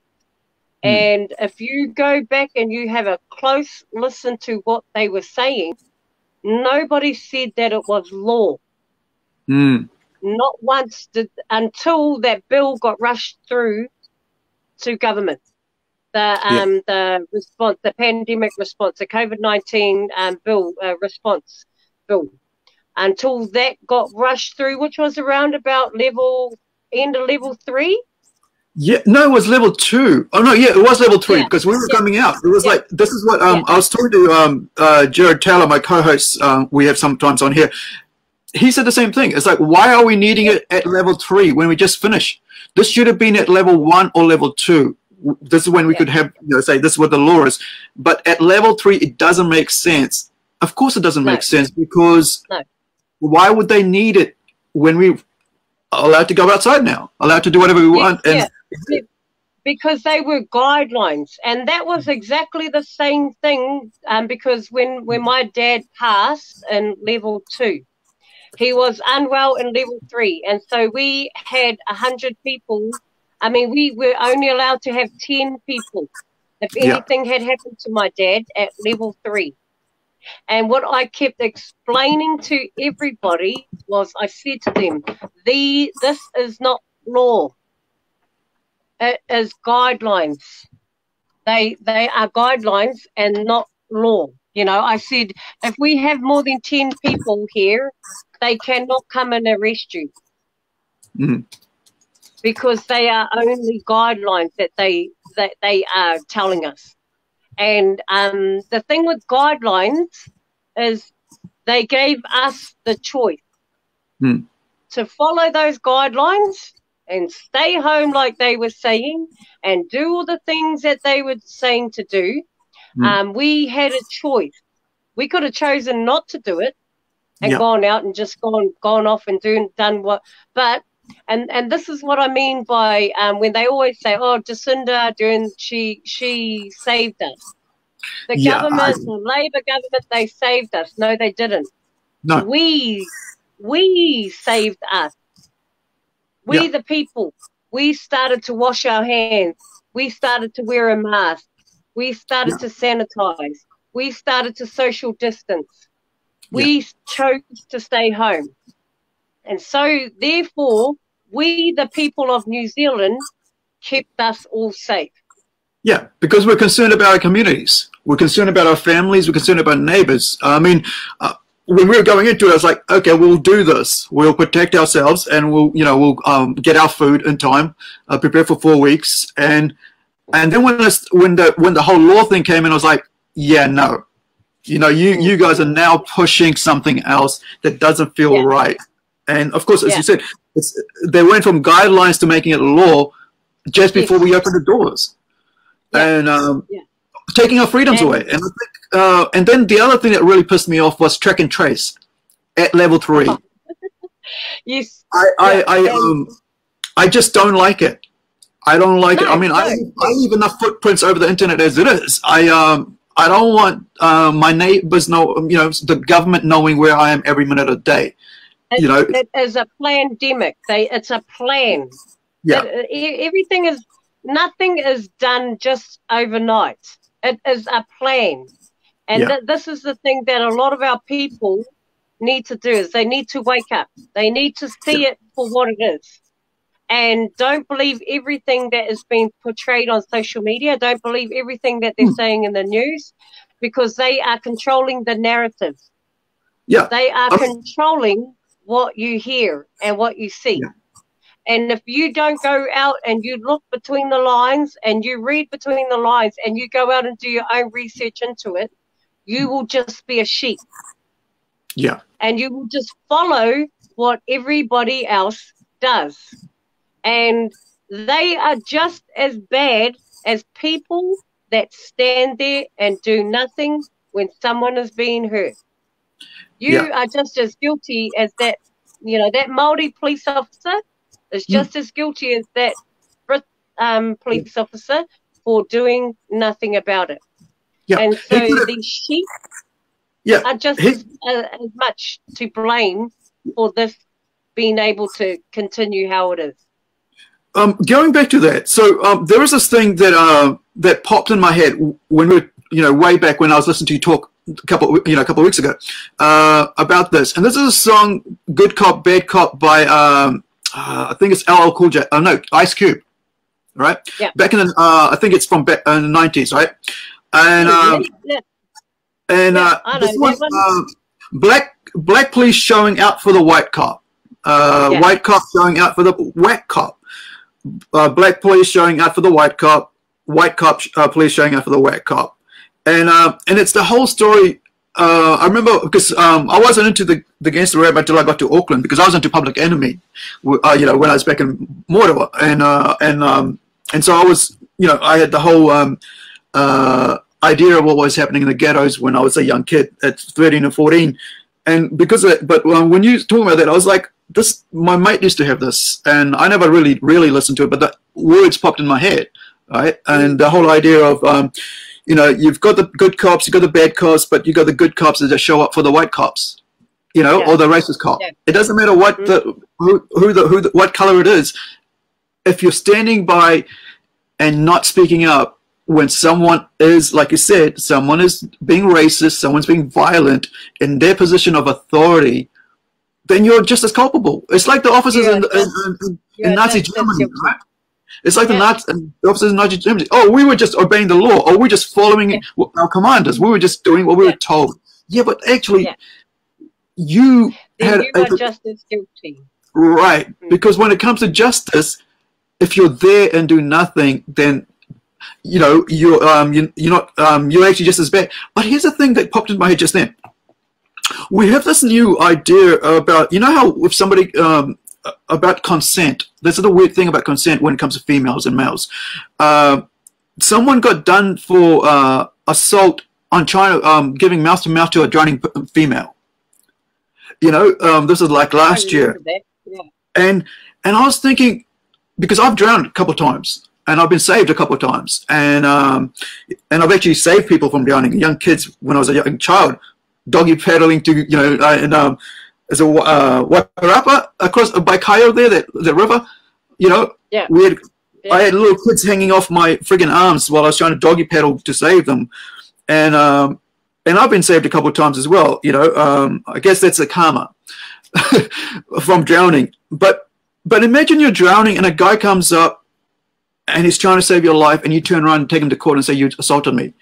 This is stopping people from doing from stepping up to help people and you know uh, this is what I, th- I think is is going to cause more problems in our society when you can't when you're not allowed out of fear to help people you know and I think um in this Well, situation COVID is, um, yeah co- COVID is uh, clear. Like this is uh, this. That's exactly what it is. So, if if somebody, um, so when I went for my first aid, I went for my first aid end of last year, and um, they said that uh, when when giving mouth to mouth, yeah you you cannot give mouth to mouth unless you have one of those plastic things that they put over your over their mouth. Otherwise, they advise against it. right If you if you do perform CPR on them and they have anything like they could have HIV or Hep C or something like that, and you can track that, then you did that on your own um, Mm. consent. yeah you, you know, um, but they they advised during our first aid that those those plastic things is something that we should always have in our first aid kits. Yeah. And, and you know, he was really, really adamant. And well, now that we have COVID, Yeah. you know, and it is, it is shared through saliva. Yeah. You know, it, it- can be shared through kissing and Yeah. uh, through, through droplets. Um, so you know, if somebody is is drowning, they, they could have COVID, and then and then you've you've got it. The thing is, for me with COVID, is it's a virus. Yeah. It's a it's it's just like all the other viruses that we have. Exactly. Yeah. You know, it's just like SARS. It's a it's another form of SARS that's just been, you know, mutated into something else, and Mm. you know, every year they seem to come out with something different. Yeah, some new uh, Why? flu. Why did they take this virus, this particular one, and make it into a pandemic? Not a pandemic. They planned Mm. everything that was going to happen once it was in a so you have the outbreak. Yeah. You know, you had the the epidemic, and then you have the pandemic. You know, and so um, when when it comes pandemic, it means it's worldwide. You know, yeah. and and that was the thing. They made sure and they ensured that it was going to go pandemic, hmm. that it was going to go right around the world. You know, and um, the it's almost like it was planned. Yeah. Everything that happened afterwards, just it was too coincidental mm. with what especially, they were saying. They, um, especially when it comes to people like Bill Gates, you know, yeah. um, who you know, who owns shares in the World Health Organization, you know, yeah. um, and the elites. You know, there people think that when we when we start to talk about the elites and you know um, and, and Freemasons and you know they they're like oh you know we we oh well, who are they what when you need to do your own research on and around that for you to be able to understand what that is. Um, because they have a plan. With most people, there's this um, because they're so busy with everyday life and um, with everyday um, you know situations, feeding their family, going to work, uh, taking care of the kids, making sure they get to school, they have enough clothes to wear, enough food, and things, and um, they, they they don't have the time to um, to actually uh, have communications with each other. They don't have time to uh, research and stuff and they just sign away everything and agree with whatever's going. And I think, uh, and you see this with like when uh, when when you hear people getting interviewed on TV, you know, or they just take a little clip and, and then they make a huge half hour deal about it out of just one little thing. Like the other day was something about Trump just uh, stepping down, and they made a you know because somebody held his hand, and I was like, is that news? You know, is that what you're supposed to tell us? I mean, why aren't you telling us about what he talk, talked about in the speech? Because that's more important what he yeah. says. Or even if even can, with anybody else. They, they control the narrative. If you yeah. you know watch them very very clear, carefully, the moment that any one of those um, independent media sources hmm. release anything that jeopardizes this pandemic, hmm. it gets shut down very very quickly. But yeah. um, well, one of the things that I shared just recently, and you might want to have a look at it, have a look into it, was um, Forbes. Forbes 10 most richest people in the world. Mm. So during the epidemic, during the pandemic, when the whole everybody's economies um, froze. Yeah. Over over the pandemic, um, over COVID nineteen, um, Bill Gates the um, top three, the top three um, richest people in the world, uh, Mark Zuckerberg is the third. Yeah. So during the during the pandemic, he um, they he was eight hundred and thirty million dollars richer than what he was before the pandemic. Eight hundred and thirty million dollars more. Yeah. And so, you know, um, how can everybody else's economies stop, but these guys yeah. make eight hundred and fifty million dollars more? The other, the um, other thing is, uh, we're almost there. Yep, we're almost on the closing time. Um, but um, so I think this is the thing about this is that um, a lot of people don't have time to research, and uh, when you yeah. start sharing stuff that they that they don't understand, they shut it down or they just go, oh, you just don't know what you're talking about. And um, but I think um, the great thing is about now is that we're able to, you know, get a control. I'm uh, not control, but share what we want and talk about what we want and the thing. And the yeah. weird thing is, you keep saying the narrative. My show is actually called the narrative. I just don't say it because yeah. it comes yeah. up on the title, and and that's because yeah. everybody has a narrative, and there's a reason why I said that because um, as a writer, we you know when you're writing a story, you control the narrative. You control who's the good guy, who's the bad guy, who's the villain, and who's going to be just a normal supporting actor. But you control how the story is played out, and this is what people don't um, tend to understand in our society is that people make money off news. Yes. Yeah. You know, they make money off platforms and social media out things. and uh, and uh, conflict and aggression and uh, um, and stuff like that makes more money than it was a nice day today. It was, it was beautiful day. We had a good time. Nothing to report. No, that doesn't make money. So, but what makes yeah. money is conflict and aggression, and um, and the more angry people are, the more money they make. And I think um, sometimes I think we think that um, anger and all that will get us to what we want to do, as we saw as this guy used his anger and whatever he was going on, racism against you. But then the then the judge comes in and goes, you know, we're going to be quietly deal with this as you went along and put through your case. And um, and here's the thing that a lot of people don't understand that um, when you're assaulted, it stays with you for a long time. Oh, uh, the words used, the violence 16, used. 16 yeah. years, and I still can remember it word for word, minute by minute. You know, I can still remember it like it was yesterday. I, yeah. you know, when I know that I've, I've healed from it, I can talk about it without crying. You know, I, I can I can speak about this without crying. But I tell you what, two to three years after everything happened, I was still it was still very real and raw for me. You know, I, mm. I still would shed a tear, but now I can talk about it 16 years later.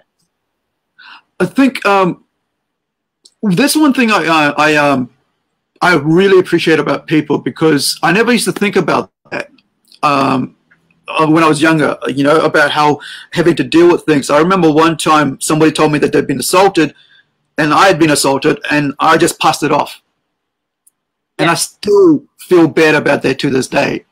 It was 20, yeah. 25 odd years ago. I still fight, feel bad because I was already dealing with my own crap. Because I was dealing with yeah. my own crap, I didn't care about anybody else's crap.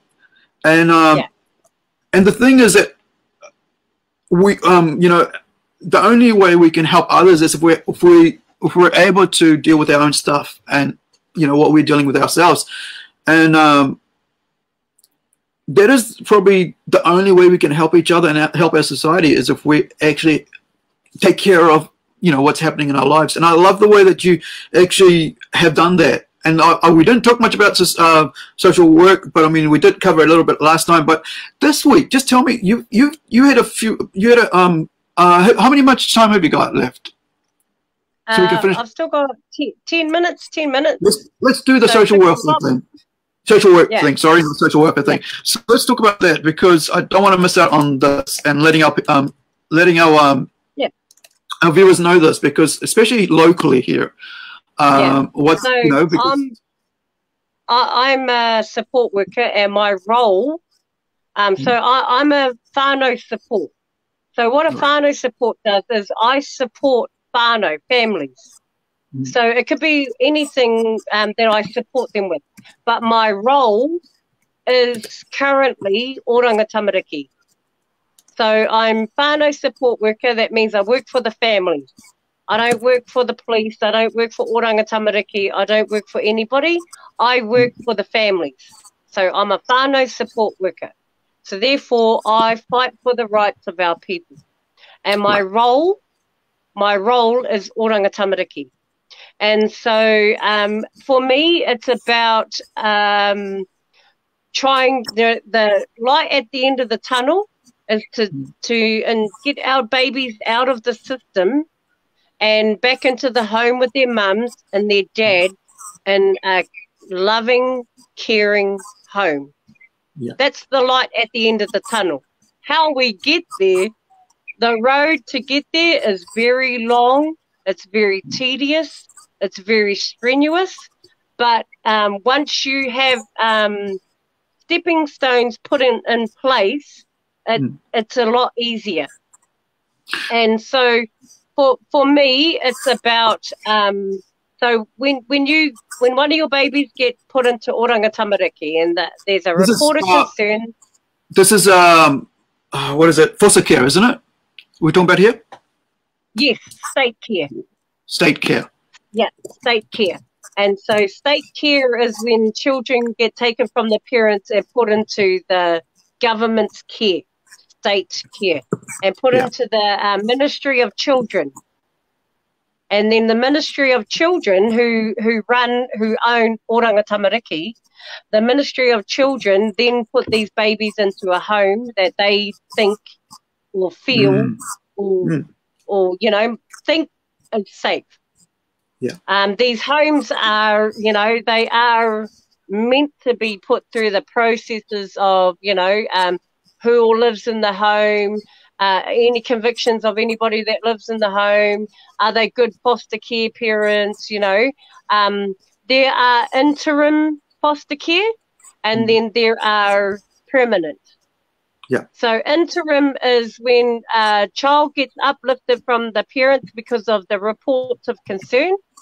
They get taken from the parents and they get put into interim custody, which means that they, they could go to a hotel with a social worker, mm. one of Oranga Tamariki um, social workers, and they could go into a hotel and stay there for the night with the child until they find somewhere for that child to go. Mm. And they'll go and take, okay, there's a foster home over here. They've got three children there. Okay, we'll put that child over there too.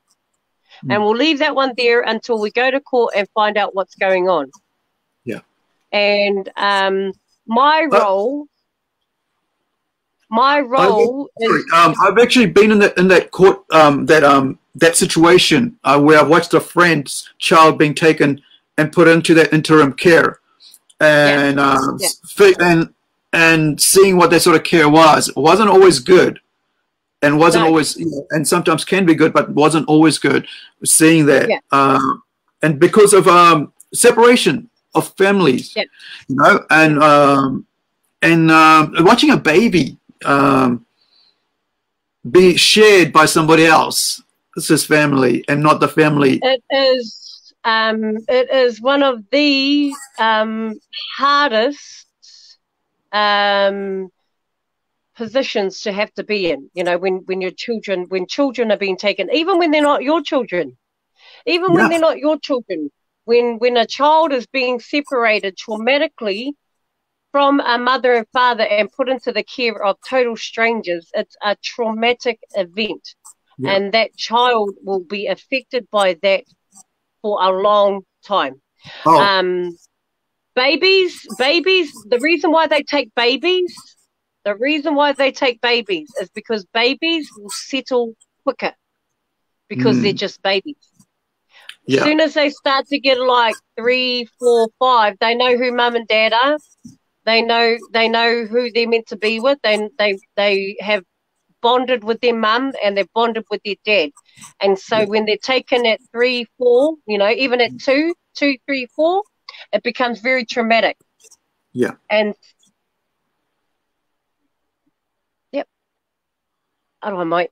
Um, so when when they're taken into care as babies, hence the reason why they uplift from birth is is because it's less traumatic for the baby. It's more traumatic for mother, for mum. Oh yeah, yeah. Very, very, very traumatic for mum, but less traumatic for the baby. Yeah. And and that's why it's a lot easier to take newborn babies than it is to take babies that are already connected with their mother and their father. Yeah. You know, and, and don't get me wrong, I, I do believe that some parents don't have the ability to be able to look after some of their, their children. Definitely. Some parents don't ha- provide safe environments for their children, don't give them give their children the you know, um, basic needs that that child needs, you know, food, um, clothes on their back, a roof over their head, stability, you know. Um, I do believe that some of our parents don't have that. Um, and, but one one of the things that I always I fight for wholeheartedly is that if that child is going to be taken from mum and dad, that he be put with whānau yeah. hapu iwi. So what we mean by whānau hapu iwi is whānau is like auntie, uncle, um, koro, nan, papa. That's whānau. Hapu becomes a little bit wider. So it, it could be um, a great aunt or, mm. you know, um, your your mum's your your mum's mother's sister, who is a great aunt. It could, you know, that's whānau hapu. So it goes wider out into the community. Like, so, so we go directly to whānau, auntie, uncle, cousins, um, grandma, grandpa, you know, grandmother, grandfather, um, none of them are suitable, then we start to look at hapu, which yep. is um, a great auntie or mm. uh, a great uncle or, you know, um, and then iwi, you know, and my, so iwi um, is. My, my dad was placed into hapu after he lost his parents yep. uh, around in World War II. And yep. it, you know, that sort of situation could have gone good or bad and uh, didn't well work out well in this situation. Yeah. So um, yeah. I love the um, I, uh, I, I, it's the damage from all the sort of situations uh, oh. from where parents that, yeah. that lose the, their kids and then and the, and uh, the trauma the trauma caused from it um, uh, it can create um, damaging effects for for the mum, for the dad, for the children for a long period of time. And if you don't address those issues, they mm. will um, they will become intergenerational, where they will then yeah. go through more than likely go through the system as well. If you don't address yeah. those issues. And so for me, like I said, the light at the end of the tunnel is for that child to be returned to its mother and father mm. um, in a safe, caring environment. Yeah. And so what that means is that we put plans in place. Um, you know, this is a system of oranga tamariki. They put what they call family group conferences together, where they put these big plans together for um, mum and dad to um, address the issues that are happening within the home.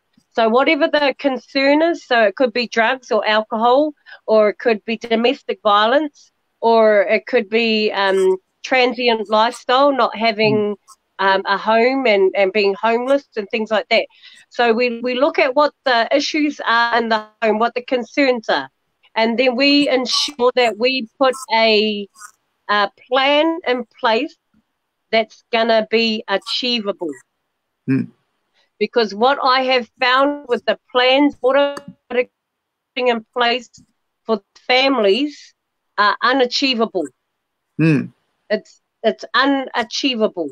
And so once the plan becomes unachievable, it falls over. Then they put another plan in place and that falls over. And then they hmm. put another one in place and it falls over. So therefore it goes to court, they are ordered and they take the baby because all they've tried, plan fell over three times, fallen over, and now we think that that, that baby is um, shouldn't be with that parent because they can't achieve the plans that we've put in place. So therefore, we need to remove that child from the home. Yeah. And so um, the main goal for me as the whānau support worker is to ensure that the plan gets completed. It's mm. one of those tick boxes. Okay, you've got to go and do an alcohol and drug course. Come on, whānau. I'm picking them up. I'm dropping them off. You're going to your course. Once you've completed that, tick. Okay, the children have to go to counselling. All right, let's go, whānau. Kids are going to counselling. Tick. Hmm. You know, what else is on the plan? Oh, we've got to go. We've got to do a drug test. Okay, drug test. Let's go, whānau. Tick. Once all the things on that plan are done, therefore there are no more concerns in the home. Therefore, there's no reason why Oranga Tamariki needs to be involved and we step in as whānau support to support that whānau and oranga tamariki step out. Yeah.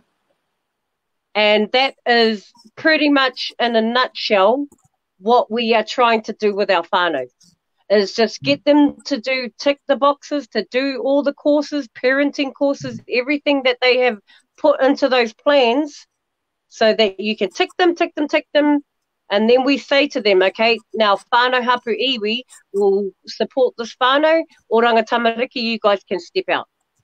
Yeah. And the babies come out of the system and back into the home with the whānau. And then we support the families in the home. So one of the things that um that, that I've learned through the processes is that um, I have to work closely with the parents. Yeah. You know, you, you pick, you fix the parents, fix the children. Yeah. You know, um, so uh, uh, whatever the issues are with the parents, we work on those issues. We bring in other service providers. So one of the things that I rely very, very heavily on is um, strategic strategic partnerships. So um, local Ngāti Hine, Ngāti Hine Health, um, Kia ora Ngāti Wai, um, Safe Man, Safe Family, all yeah. local, all local iwi providers. And those yeah. are the ones that I reach out to. Hey, you know, I, I've got a whānau that needs this. You know why? Because they already get funding for it. Yeah. And, they already get funding to help those whānaus so mm. I always go directly to them and I say to them, hey, I've got a whānau that needs AOD. I've got a farmer, yeah. that needs domestic um, violence uh, training. You know, they, they need to go do some parenting programs. And rather than us doing it, I take them to these organizations to tick off their boxes because at the end of the day, they are the ones that get the funding for it. I my cynical brain is always always when it says when there is they need these issues to happen in our society so they can keep the funding going. You're not I, the first one to say that either. You, know, you know like, and, let's, um, let's, keep them. Um, let's keep our Maori people in a constant place of need. And um, they make money of yeah. the grief of our people. Yeah. They, they, they make money off the grief of our people. And I always think like if we would just start taking responsibility for our own selves, um, and so we don't have to keep keep making people think that we're we are in need all the time. You know, I hate that whole idea of it's oh they they're getting another handout again. They're getting another handout again. It's like when are they going to be enough? And I, and I kind of think of the same way myself. I've said when is it going to be enough, but then I realize in my head it's not going to be enough because they want you to be always in need. Because, yeah. you know, to be in need means that you're not helping yourself, that you're not in control of your own individual individuality, in your own hapu, in your own tribe, in your own iwi, as you said, um, because that's where the support is for you. You know, for the for the young, it's like, hey, uncle said not to be naughty, otherwise, yeah. uncle's going to yeah. tell daddy. You know, we yeah. we had that in yeah. the old days. You know, where yeah. you could say you can't play up because you're going to get told by, to mum. Mum's going to give you a ring. You know, what is that? A clap around the ears. Yeah. So, so discipline is um. So the world in which we grew up in, you know, you, mm. you and I, no longer exists. It no longer exists. As much as we talk about it, and as much as we say, you know, back in the days, you know, we were, mm. uh, we were disciplined. We were, we got whacks if we did this that no longer exists. Yeah.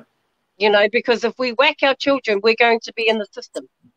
Yeah. You know, so the, so the system, the system has been set up for for us to fail.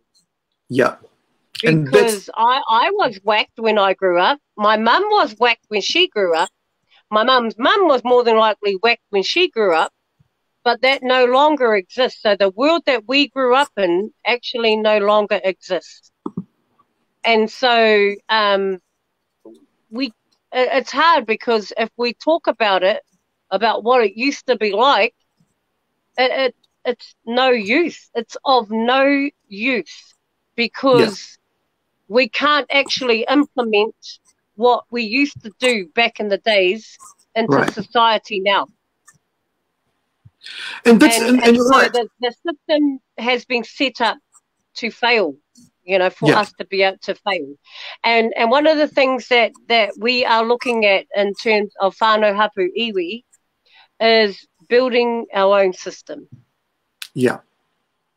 building our own Maori council, our own governance, our yeah. our you know, and and the funding streams will will always be there for us as Maori for the simple yeah. fact that Te Tiriti, and this is the thing with our Indigenous people here, mm. what sets us apart from every other Indigenous race out there is yeah. we had a treaty. Right. we we had an agreement between us and the crown. Yeah.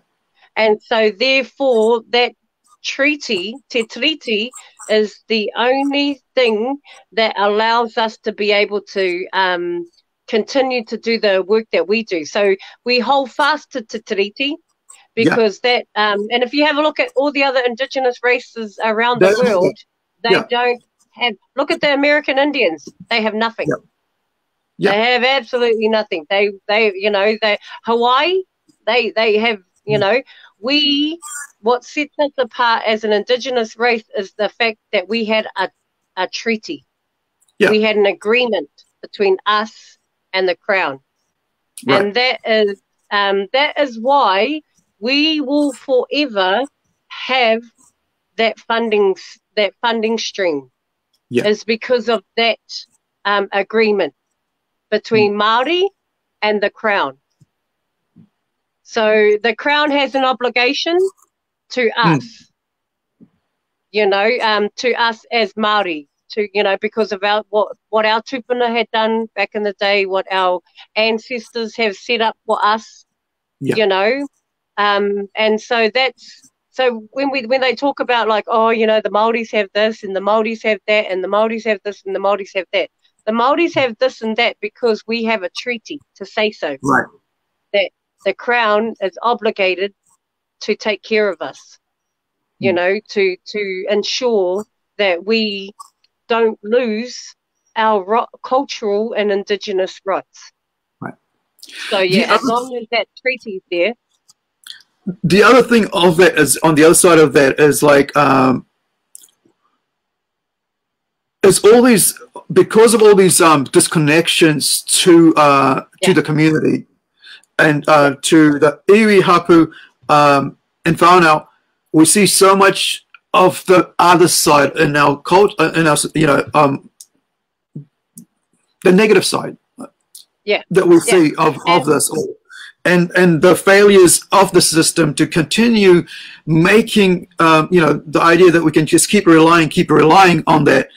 And of course, people are going to get annoyed, but we know the treaty is there for a reason and it's there to protect and provide but the other question is like, um, are we, are, you know, uh, um, are we helping our own whānau to actually say, come on, use these provisions, use these fundings to better yourself instead of being so reliant for only getting that tokenism that you were talking about in the last yeah, thing. Yeah. There's and, that little so urbanization urbanization, urban Maori, they've urbanized us.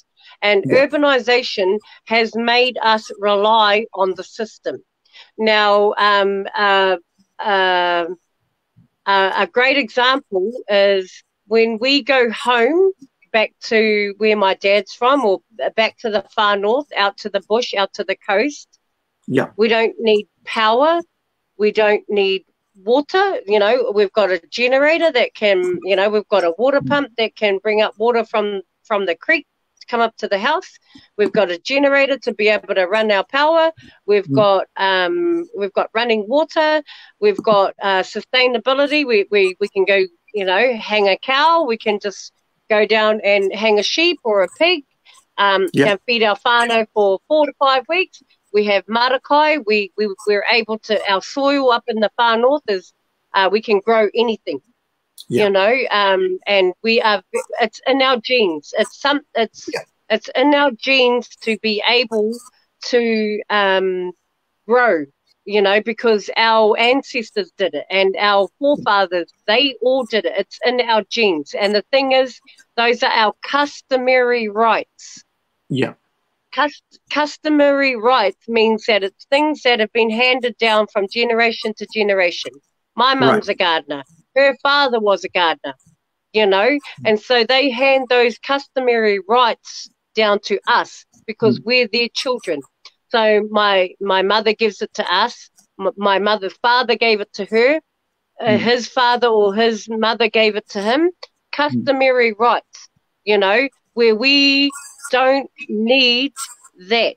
We don't need the system to be able to survive. We as a people could live off the land.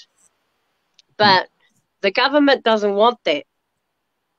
The government doesn't want us to be able to be sustainable. They want us mm. to rely on the system so that they can say to the treasury, the treasury, the crown, yeah. you know, yeah.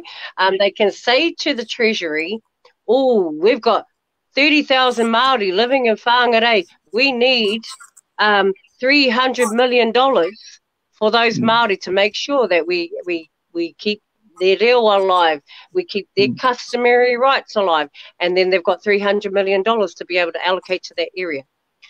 But see, because when we go north, when we've got, let's say, we've got uh, 2,000 people in the area, you know, up home. Yeah. We don't need anything. We, we, you know, we, they're trying to give us 5G. Yeah. Yeah. This is, this is how that they, um, they are trying, they they knew that they couldn't give us anything. We had everything up there. We didn't need to mm. rely on any funding. We didn't have to ask them for anything. You know, mm. the hmm. government, we, we're not reliant on the government up home. The people aren't relying on the government. But um, so they are coming in and they're doing things like, you know, oh, we've, we've got all this um, pūtea there, this funding there to, for your marais Mm. You know, um, and oh, we've got all this funding here for for um, for you guys to be able to get five G, so you guys can get broadband, and then you guys could be online, and you mm. you guys, you know, we you guys will be able to keep in contact with the rest of the world. What for? You know what I mean? What do they need that for? They don't need it. You guys want them to have it. Yeah. You know, and and so they are slowly starting to come in and offer things to those little um, urban um, uh, villages and that, you know, um, trying to get yeah. them, trying to get them into the system.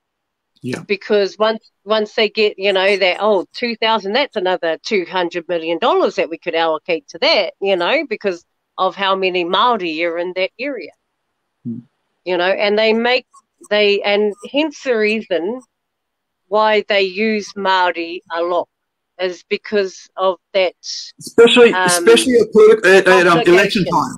Especially at election yeah. time.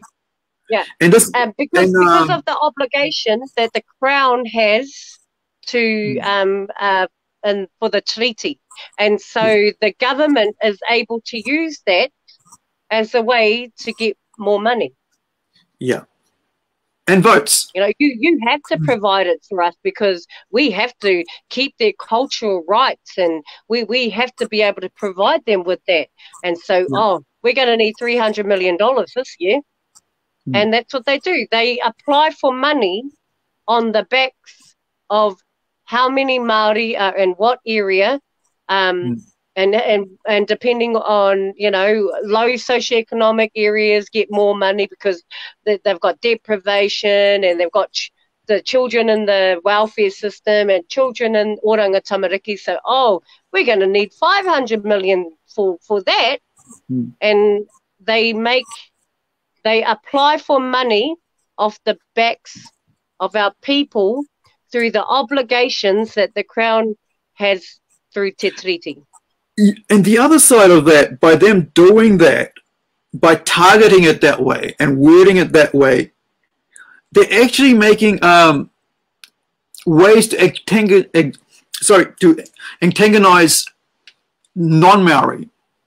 And I've oh, watched oh, this. Very, and very. to make non-Maori yeah. upset, um, upset at seeing um, seeing uh, Maori get their um, their rights the financial rights handed to them because it's obligation to them and they've got a treaty. Yes. But they do it in a way to make non-Maori feel feel angry to see them getting yeah. some more money. Why are they getting it more? Why are they getting this there? Why are they getting that there? Why are they always in need? And of course, yeah. like we said, it's a system to made to fail. And because the other thing is, um, and there's other people overseas have talked about this, the destruction of the family uh, to take children away, as we talked about, uh, oranga uh, parents not being able to look after themselves or look after their um, their children. But by doing that, you're just creating generational need. Right? Yeah. You, you make making generations, like you said um, last time, six generations of uh, beneficiaries. Of wealthy. Yeah. Yeah. yeah. those people have relied upon government uh, handouts for six generations without actually saying, you know, I think I can do better for myself if I can just step out of this and get a bit more education, maybe use a little bit of this uh, put away and get me through whatever I need to get to, you know, um, and learn about budgeting and all these things that are available anyway. But I, the more um, reliant we're upon the nanny state, as um, you know, as you know, you know, uh, as they call it sometimes, the more we become helpless in our own individual um, goals to better ourselves and our community. And um, and I think um, key, I, I, think the key thing in that corridor there mm. intergenerational. Yeah. And uh, you know, six generations of beneficiaries. You know, mm. and and I guarantee there's a lot more out there. oh yeah. Are, a part of that you know six mm. generations you know and it's intergenerational so you only know what you know yeah. So if, if you're brought up in a home where your dad and your mum were on the benefit, mm. chances are that's all you're going to know. Yeah. You know, their parents were on a benefit. So that intergenerational thing is is real. That that mm. is where it needs to be broken. Yeah. That that is where it's up to us, the generation of today, to make yeah. that change because yeah. I do believe, I, I do wholeheartedly believe that we are the generation of change. Yeah. Because, um, uh, um, you know, I, I, I work very, very hard, but mm. I'm not just about money. Like, you know, um, wealth, what, what, what those out there think is wealthy to them or is rich in, in mm. money and houses and cars and boats. Mm. Um, it, everybody is different in wealth, you know. I look at myself, I go home back to Pawarenga and look at how beautiful our land is. Mm. I'm rich. I, I'm rich. I'm very, mm. very rich. You know, I'm rich in knowledge. I'm, yeah. I'm rich in so many other ways, not just with money. Because mm. I tell you what, all that money that's going into the funding streams, majority of it goes to these organizations that are yeah. called what they're called government organizations, yeah. Maori iwi organizations. They get majority of that money.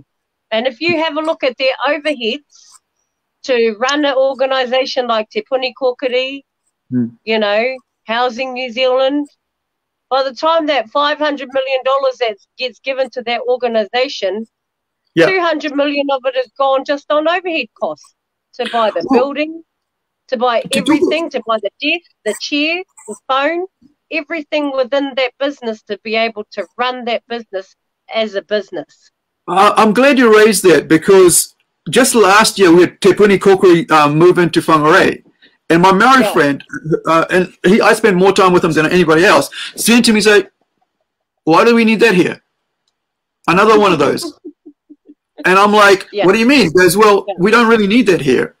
And I looked inside and it was like brand new everything. Yep, brand, brand new everything. everything. So that $500 million, $200 million have gone just like that.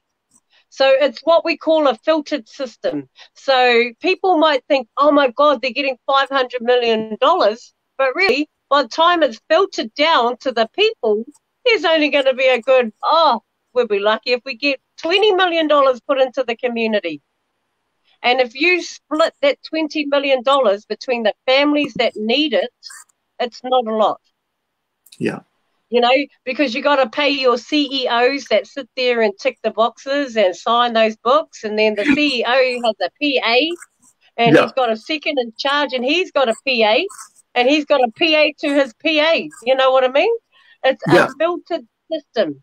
So by the time the money filters down through the government organizations, through the iwi organizations down to our people, there's not yeah. a lot left and you that's know? what, and that's basically it, isn't it? And then you see uh, that there's not yeah. much help being given to who the people that actually yeah. need it, uh, and then you've yeah. got still have poor areas in Whangarei when you think, well, we gave them five hundred million dollars. Where's it all gone? And this, and this is this is what antagonizes people. And I think uh, for a while that I was feeling the same way until I understood that wait, there's something wrong here.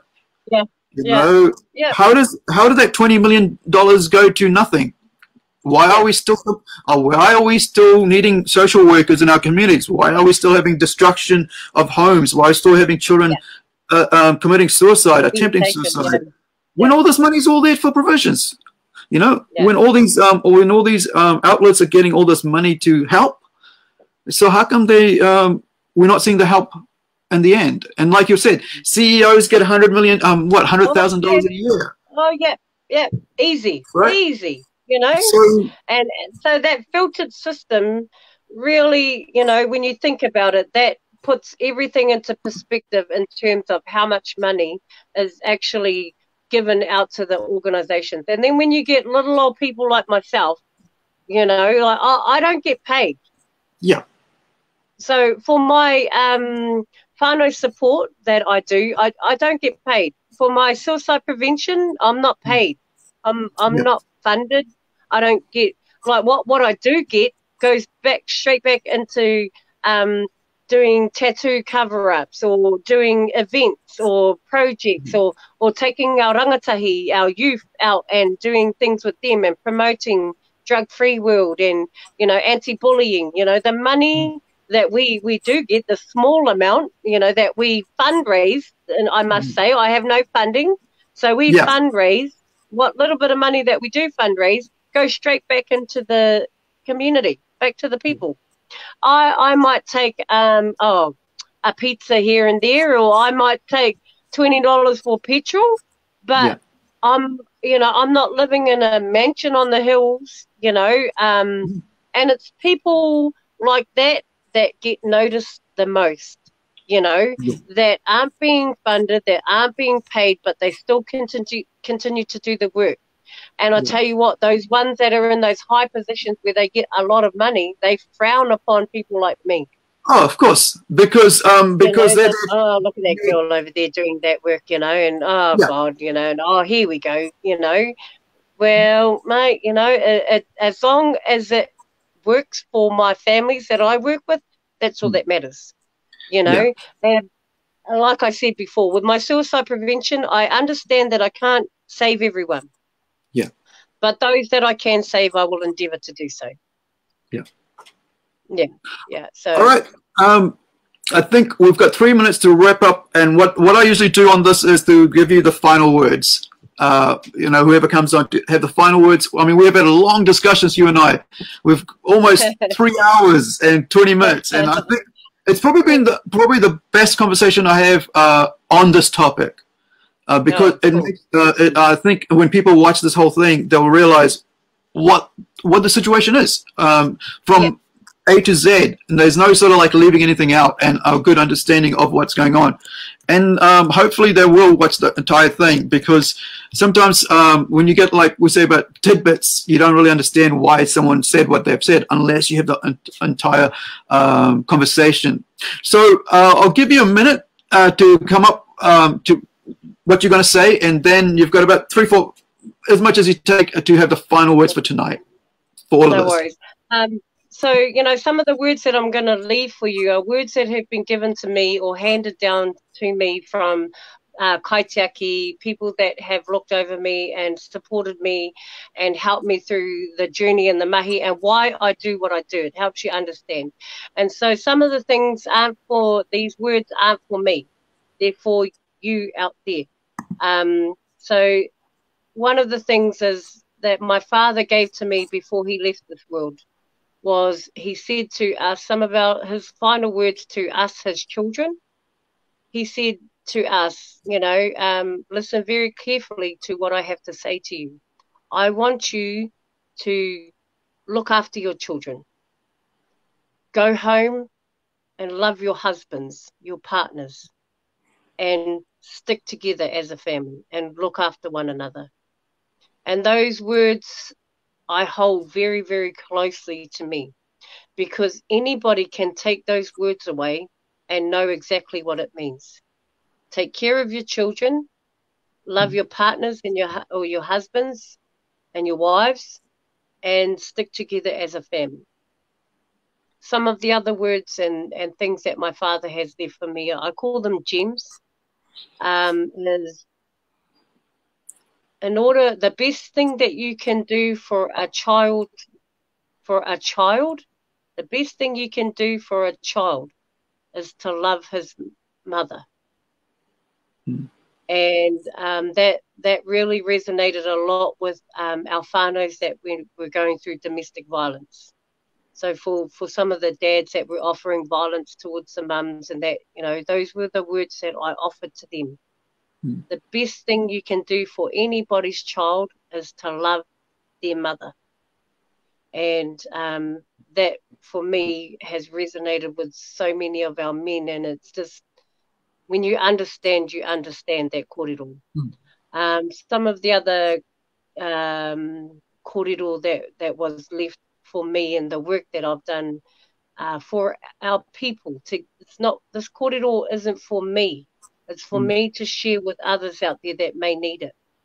Um, when going through domestic violence and working with families that uh, that have violence in the home, you um, and this is more so for the mums, you know. So the kōrero about you know the best thing you can do for a child is to love their mother is for the father.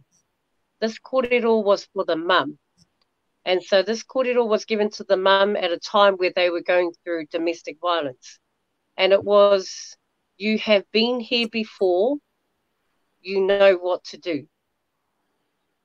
And when I was given those words from our healer to give to this family that was going through domestic violence to the mum, uh, it made no sense to me. But mm. once I gave that kōrero to the mother, she knew straight away what it meant. So those words weren't for me; they mm. were for her, for for the mum that was going through it. And and you know, I, I think about it, and, and the way that I see that is, she knows what to do when when you are going through domestic violence and you're having an argument with dad, and you know, you know what you have to do. You've been here before, you mm. know you don't need to ring 120 other people to tell them what's going on. You've been here before, you know what to do. Hmm. And that gives the mana back to the mum and giving it back to her, letting her know that she can, she she has the ability to be able to work through this. Um, some of the other kōrero that has been given that are, are real gems that I, I hold closely. Um, this is a funny one actually, and I, I, like this one because this one resonates with me.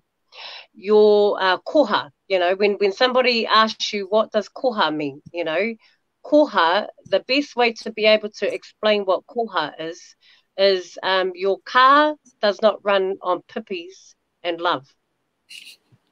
And and so that one there is, is something that my dad um, used to say a lot of, you know, and um, and I hold fast to that one because a lot of people do ask, well, what is a koha? Or what, you know, can you explain what koha means? And it's exactly that, that your car does not run on pippies and love, mm. you know. Um, so, yeah, th- those are words that um, really, really resonate. And and this one here.